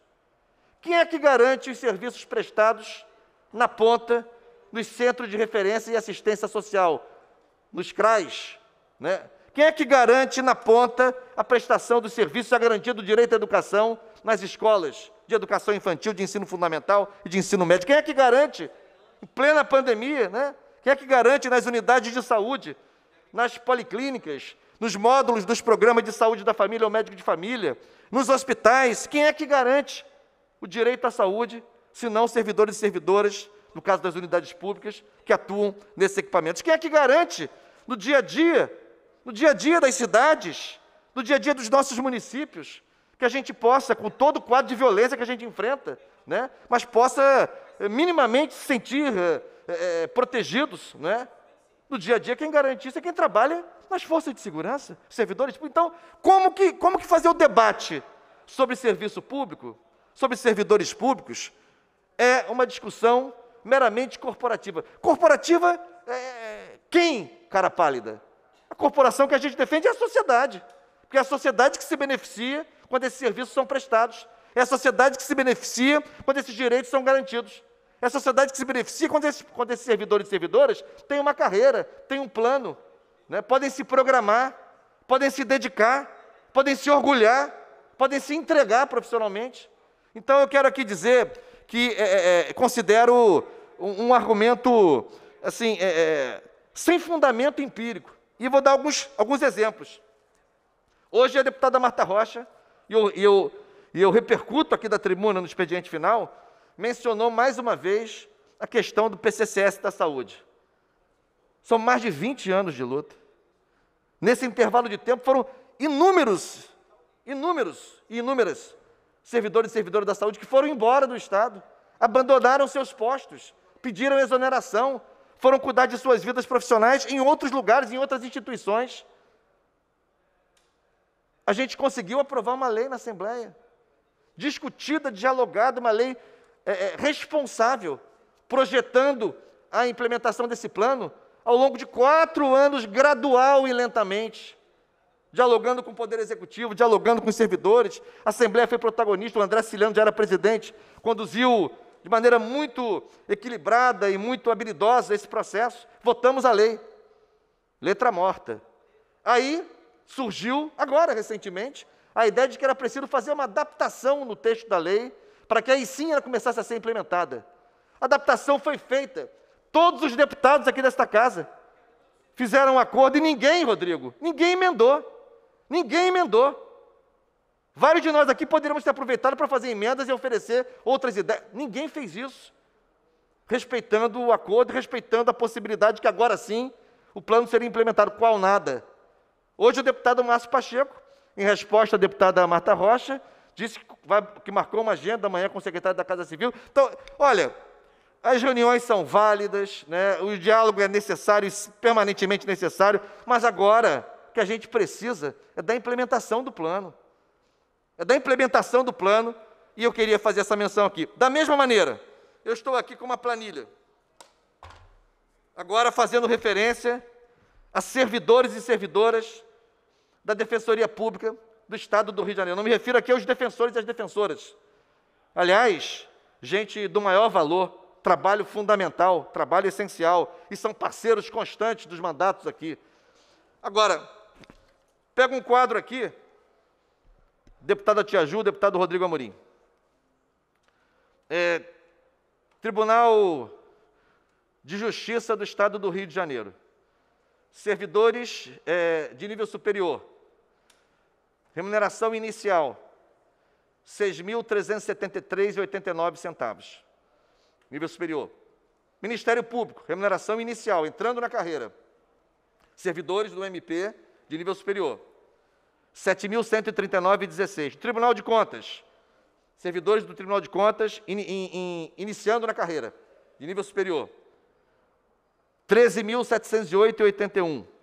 Procuradoria-Geral do Estado, 7.410. Defensoria Pública do Estado, 3.948. No final de carreira, no final de carreira, TJ, 9.560. Nível superior. MP, 16.729. Tribunal de Contas, 19.192. Procuradoria do Estado, que é baixo também, 9.798. Defensoria, final de carreira, 6.477, nível superior. Nível médio, a disparidade é idêntica. TJ, inicial, nível médio, 3.870. MP, 4.380. Tribunal de Contas, 9.590. Procuradoria-Geral do Estado, 4.680. Defensoria, 3.200. Final de carreira, TJ, 6.300. MP, 10.270. Tribunal de Contas, 15.080. 15 Procuradoria-Geral do Estado, 6.477. Defensoria Pública, final de carreira, nível médio, 3.375. Então, assim, eu, eu, eu, acho que a gente precisa discutir com base em números, com base em indicadores, com base em dados concretos e fazer o debate com as nossas convicções, com os nossos pontos de vista, com os ideários e doutrinas que orientam a nossa atividade pública, mas com base no, porque esses números não mudam, não é? à direita ou à esquerda, liberais ou socialistas, né, marxistas ou, ou, positivistas, esses números não mudam. Eles são os mesmos. São os mesmos. Então, é disso que a gente está falando. Então, eu queria é, já concluir, deputada Tia Ju, porque, assim, não se trata absolutamente, não se trata absolutamente de pretender estar na função pública, pretender exercer o mandato e, e ter uma espécie de blindagem. Aliás, eu quero aqui dizer que é, é, se tem um aspecto, se tem um aspecto é, da mudança das dependências do Poder Legislativo que me incomodou e que me incomoda é justamente essa sensação, Tia Ju e Rodrigo, de estarmos meio blindados aqui. Disso eu não gostei. Disso eu não gostei, já tinha falado para o André, disso eu não gostei. Essa, parece que nós estamos muito protegidos, não é? Eu acho que as galerias abertas, não é? É, é, representam e simbolizam o que nós somos. Uma casa de representação popular. Aqui nós estamos muito protegidos, não é? Aqui nem nos vem direito, quem vem aqui nem nos vê direito, não é? Enfim, então, é, é, é por isso que eu quero aqui ressaltar, eu quero aqui ressaltar a importância de fazermos esse debate abertamente. Não vou aceitar, não vou tolerar que se tente impingir, que se tente impor essas concepções, né, de que defender o serviço do servidor público agora é prejudicar o Estado, é, é, é, é contribuir para o desequilíbrio fiscal. Ora, mas como é que o Estado vai cumprir o seu papel? Repito o que eu falei no microfone de aparte. O Estado tem um papel indutor do desenvolvimento. Ele quem formula as políticas, quem fixa as diretrizes, quem define as prioridades, inclusive na execução do orçamento público. Mas quem vai fazer isso? Em que condições, em que circunstâncias? Né? Então eu queria aqui dizer que não adianta, não adianta fazer esse debate de maneira enviesada, isso não vai nos influenciar, isso não vai nos constranger, isso não vai nos fazer ruborizar. Abertamente eu quero defender que o Estado encontre um caminho de desenvolvimento econômico e social, de equilíbrio nas suas contas públicas. Isso pressupõe várias coisas, entre elas, diversificar a nossa economia. Nós estamos excessivamente dependentes da cadeia do óleo e do gás. Não temos que desprezá-la porque ela é muito potente, mas temos que ter capacidade de formular em outras áreas alternativas para a geração de receitas novas, duradouras, longevas. Precisamos enfrentar a desigualdade. Não há projeto de desenvolvimento econômico e social que, que, que, que, se sustente de pé, que gere prosperidade, com um monte de gente morrendo de fome, um monte de gente sem ter onde morar, um monte de gente sofrendo todo dia, para sobreviver. Então, enfrentar desigualdades, profissionalizar o serviço público e valorizá-lo, fortalecer o Estado, o poder público. Então, eu queria fazer esse debate aqui, continuando um pouco a gente, o que a gente fez durante a ordem do dia, mas trazendo alguns casos específicos. Hoje eu trouxe dois, vou trazer mais. Flávio no plenário mencionou o caso de profissionais da educação, da educação básica da SEDUC, da FAETEC, das universidades. A UESO que eu citei aqui, a UESO que eu citei aqui, quando mencionei a professora Luanda Moraes, é uma universidade que tem duas características inéditas. Eu conheço um pouco uh, o mundo acadêmico, o mundo universitário, inclusive fora do Brasil. A UESO certamente é a única universidade uh, no mundo que não tem um campus, que não tem uma sede, nunca vi na minha vida isso. E além disso, é a única universidade que provavelmente não dispõe em seus quadros profissionais de servidores técnico-administrativos, ou seja, ou seja, todo o trabalho burocrático administrativo na UESO é feito pelos docentes. Isso não, não, não diminui ninguém. O trabalho burocrático administrativo é fundamental em qualquer organização, inclusive no Poder Legislativo. Quem prepara as atas, quem prepara as pautas, quem nos dá suporte para fazer funcionar as sessões, trabalho fundamental. Não é disso que eu estou falando. Eu estou falando que não é normal que professores e pesquisadores de uma universidade tenham também que responder pelo trabalho de redigir ofícios, né, de organizar arquivos, né, de formular é, é, relatórios, relatórios é, é, específicos do, do, do de, de, de, de, estoque, de material, enfim. Isso não é normal. A UESA foi criada e, mais de 15 anos depois, nunca teve um servidor de caráter técnico administrativo. Então, assim, eu acho que a gente precisa fazer esse debate com calma, com tranquilidade. Não temos tanto tempo assim, porque a gente tem pouco tempo, né? O Estado tem pouco tempo, mais quatro meses só, para apresentar ao Ministério da Economia o projeto, né? O projeto, o plano com o qual ele vai enfrentar esses 10 anos, como eu disse ontem aqui. Vai, inclusive, apresentar as vedações que ele quer evitar e a forma de compensar essas vedações. E eu não vou admitir que esse debate seja apequenado, seja, fique empobrecido, fique enviesado né, por discursos como esse que a gente viu nesse editorial. Eu queria revoltar esse tema, aproveitando o que estava inscrito na tribuna. Muito obrigado. Próximo orador inscrito é o nobre deputado Rodrigo Amorim. Vossa Excelência dispõe de 10 minutos no tempo regimental.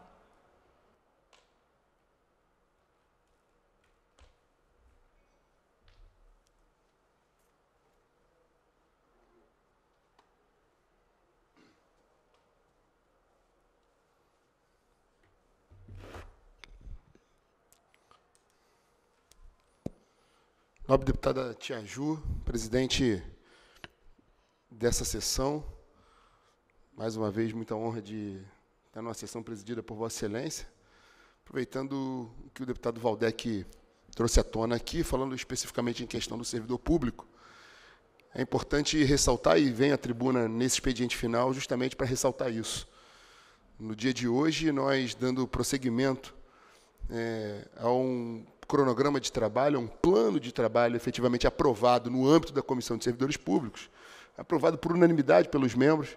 Eu, bem no início dos trabalhos no âmbito da comissão, deputado Valdec, combinei com o deputado Serafini a apresentação de um plano de trabalho. Cada deputado que compõe a comissão tem a sua acepção, o seu, é, a sua preferência por uma determinada área temática ou para uma determinada carreira e alguns já vinham trabalhando anteriormente em outro, outra legislatura ou nesse próprio mandato. Então, elaboramos um plano de trabalho, um cronograma de trabalho, obviamente pressupondo esse enfrentamento dessas eventuais reformas no âmbito administrativo, previdenciário. E, dentre o que constava nesse plano de trabalho aprovado na comissão, havia ali a criação de um grupo. Um grupo de trabalho que refletiu muito do que a gente viu aqui na instalação desse plenário.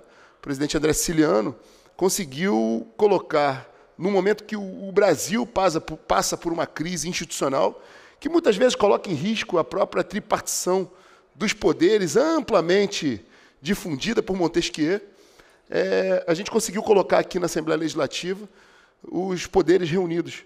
Poder Legislativo, Poder Judiciário, os chefes do Poder Executivo, tanto da nossa capital quanto do Governo do Estado, as autoridades do Ministério Público, representação do Tribunal de Contas do Estado. O deputado Valdec, isso, inclusive, mencionou isso aqui ontem em seu discurso.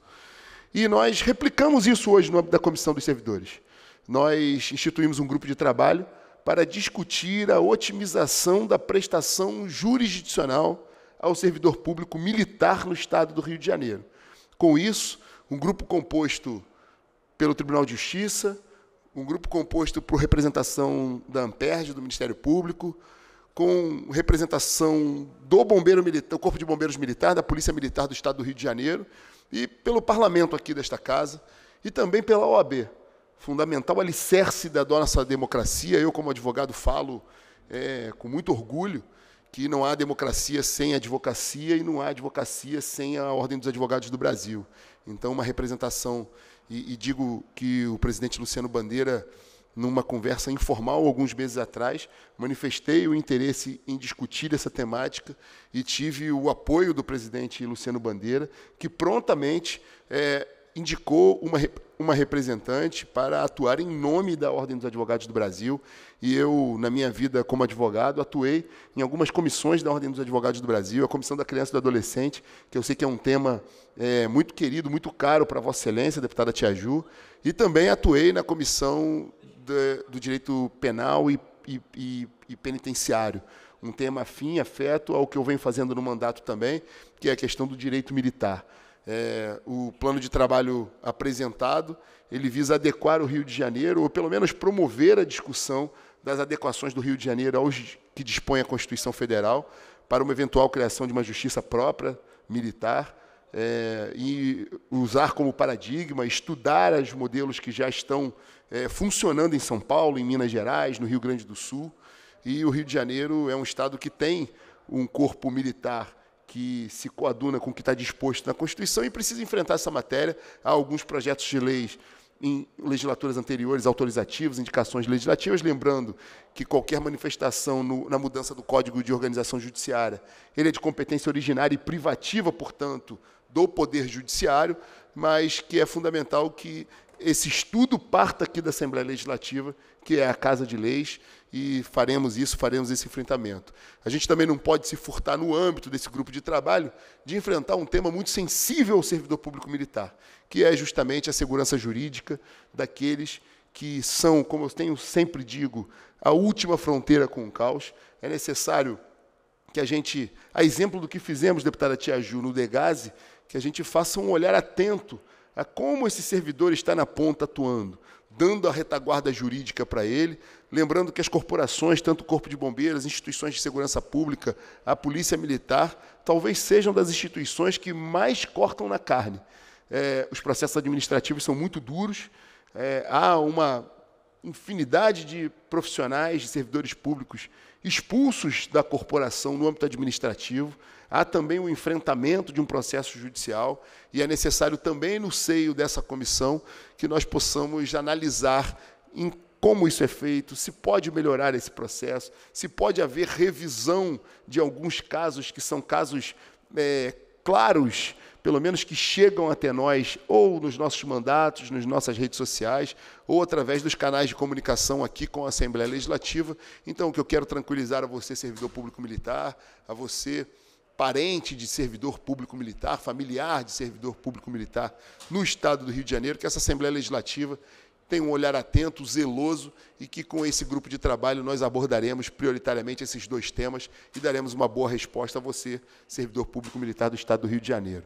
Eu tive a oportunidade também, hoje, num dia vitorioso, ontem nós publicamos, fruto do esforço dessa casa, a convocação, acompanhamos a publicação da convocação de 300 novos servidores públicos militares, como eu disse anteriormente aqui, é, amparados pela lei que suspende a validade do concurso público. Hoje tivemos uma outra grande vitória que Vossa Excelência participou, dando o seu voto favorável, como sempre, uma também defensora do concurso público, que foi a aprovação de um projeto de lei autorizativo que permite ao governo do Estado é, a convocação tão esperada, tão aguardada do servidor público do Rio Previdência, uma instituição importante para o desenvolvimento do Rio de Janeiro, para o desenvolvimento do nosso Estado, e que carece de profissionais capacitados, aqueles que aguardam e foram aprovados meritoriamente num concurso público e aguardam, a exemplo de outras carreiras, o chamamento. Agora tem um projeto de lei aprovado nessa casa, que vai à sanção do governador e certamente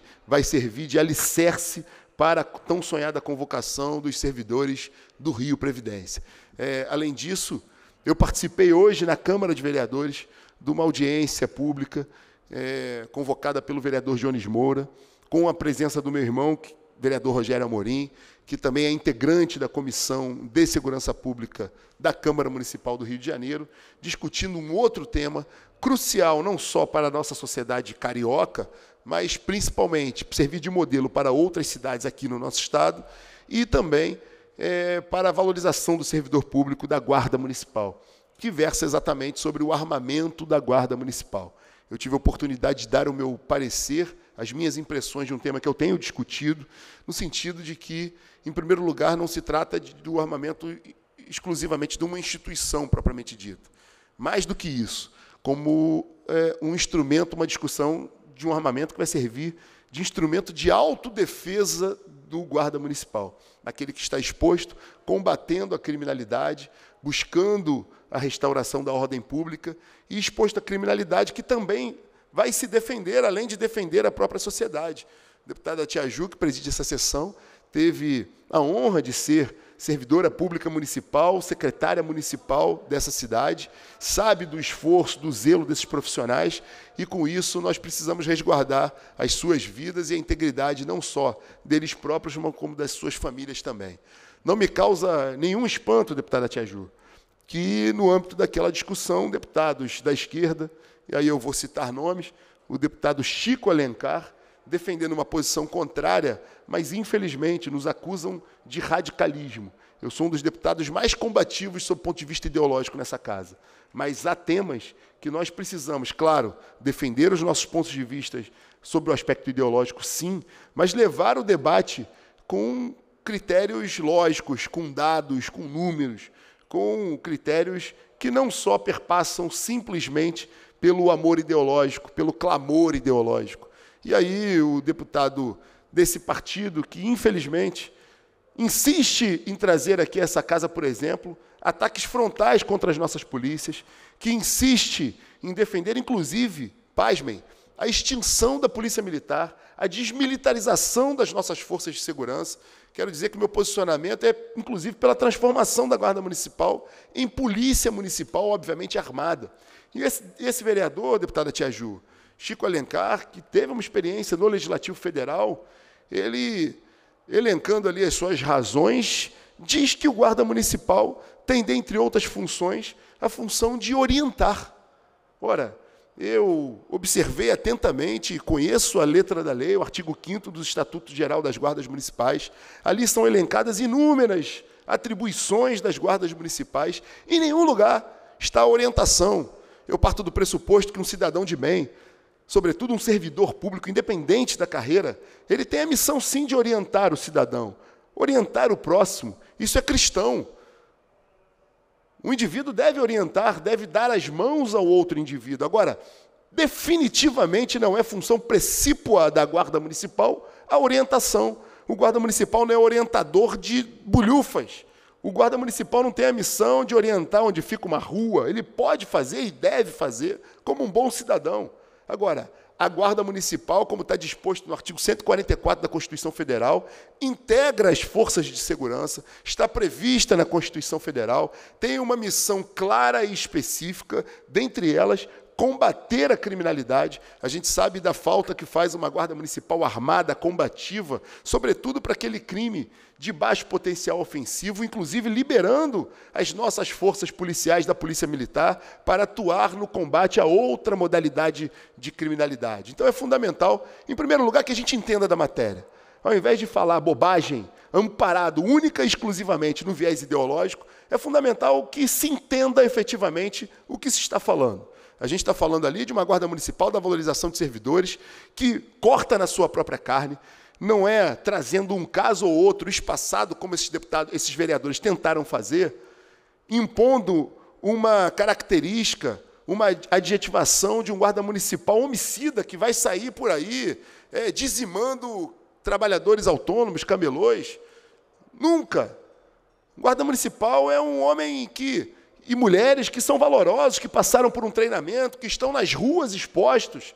defendendo o patrimônio da cidade do Rio de Janeiro ou da sua cidade, seja ela qual for, dentre os 92 cidades do nosso estado. E lembrando que esse profissional, ele passa por uma capacitação, como prevê o próprio Estatuto é, do Desarmamento, que prevê a hipótese de porte de arma para as guardas municipais, hipótese essa mais do que consagrada pelo STF, que em duas decisões, inclusive uma desse ano, de fevereiro desse ano, mais do que é, é, harmoniza o texto original do legislador federal, no sentido, inclusive, de tirar aquela vedação que impõe um limite indicativo à quantidade de habitantes daquela cidade para dizer se faz jus ou não a Guarda Municipal Armada. O texto, amparado pelo STF, ou seja, pelo, pelo guardião da nossa Constituição, ele diz que as cidades devem ser tratadas de forma igual, igualitária. Qualquer cidade que tenha a Guarda Municipal, nos termos da Constituição Federal, ela tem o direito de armar já que se trata de uma força de poder coercitivo, uma força policial, dotar esses homens de arma. Então, é uma discussão que fica aqui é, o meu parabéns aos vereadores Jones Moura, ao vereador Rogério Amorim, que estão tratando o tema com a seriedade que deve ser, deve ser tratado, embora alguns esquerdistas tentem fazer a patuscada e a pantomima de sempre na Câmara Municipal, mas que cabe a esses parlamentares promover uma discussão e, se Deus permitir, armar a Guarda Municipal do Rio de Janeiro. Eu deixei claro ali que armas, elas são, na verdade, a solução de um problema. Armas na mão de pessoas de bem, treinadas, são solução de um problema. Eu tenho porte de arma federal, eu sou CAC desde 2005, portanto, antes de virar moda, antes de se discutir, eu sou atirador desportivo e tenho arma, porte de arma federal. No entanto, Vossas Excelências nunca me viram armados no plenário da Assembleia Legislativa, porque eu respeito a legislação, porque eu obedeço o que está disposto. E o grande problema desses que insistem em satanizar a atividade policial é, sobretudo, não respeitar as leis. Então, se a Guarda Municipal tem a missão de restaurar a ordem, que eles insistem em infligir o tempo inteiro, não me causa nenhum espanto, tampouco perplexidade que eles queiram combater. Então fica aqui o nosso parecer favorável, o nosso discurso favorável e que isso se torne uma realidade no município do Rio de Janeiro e que seja replicado em outros municípios desse estado. Pela valorização dos servidores públicos, contem com a Comissão dos Servidores da Assembleia Legislativa, contem com os deputados dessa casa, que hoje fez uma demonstração não só na discussão que eu acabei de trazer, mas aprovando um projeto de lei fundamental para o chamamento de mais uma carreira, e aí eu me refiro a você que fez o concurso do Rio Previdência. Muito obrigado a todos, um grande final de semana. Continuamos trabalhando com todo vapor pela reedificação do Rio de Janeiro, e como eu não posso deixar de dizer para terminar, muito me honra ver Vossa Excelência sentado nessa tribuna. Faz, falo isso a exaustão, como se fosse um mantra para que os demais deputados, que, se Deus permitir, estarão numa futura legislatura, possam encarar a possibilidade, efetivamente, de ter uma mulher à presidência, conduzida à presidência dessa casa. E aqui fica o meu reconhecimento ao seu trabalho e à forma democrática e muito flexível com que Vossa Excelência não só conduz o seu mandato, mas o trato com os colegas, mas, sobretudo, quando está conduzindo os trabalhos nessa casa. Meu grande abraço, meu grande beijo, na minha grande amiga, deputada, presidente dessa sessão, Tia Ju. Um bom final de semana a todos, fiquem com Deus. Obrigada, deputado, pela deferência à minha pessoa. Também admiro o seu trabalho e sua, seu empenho aguerrido. Estamos todos unidos em prol de melhorias e avanços para o nosso querido Estado do Rio de Janeiro. Não havendo mais oradores inscritos, a presidência declara encerrada essa sessão.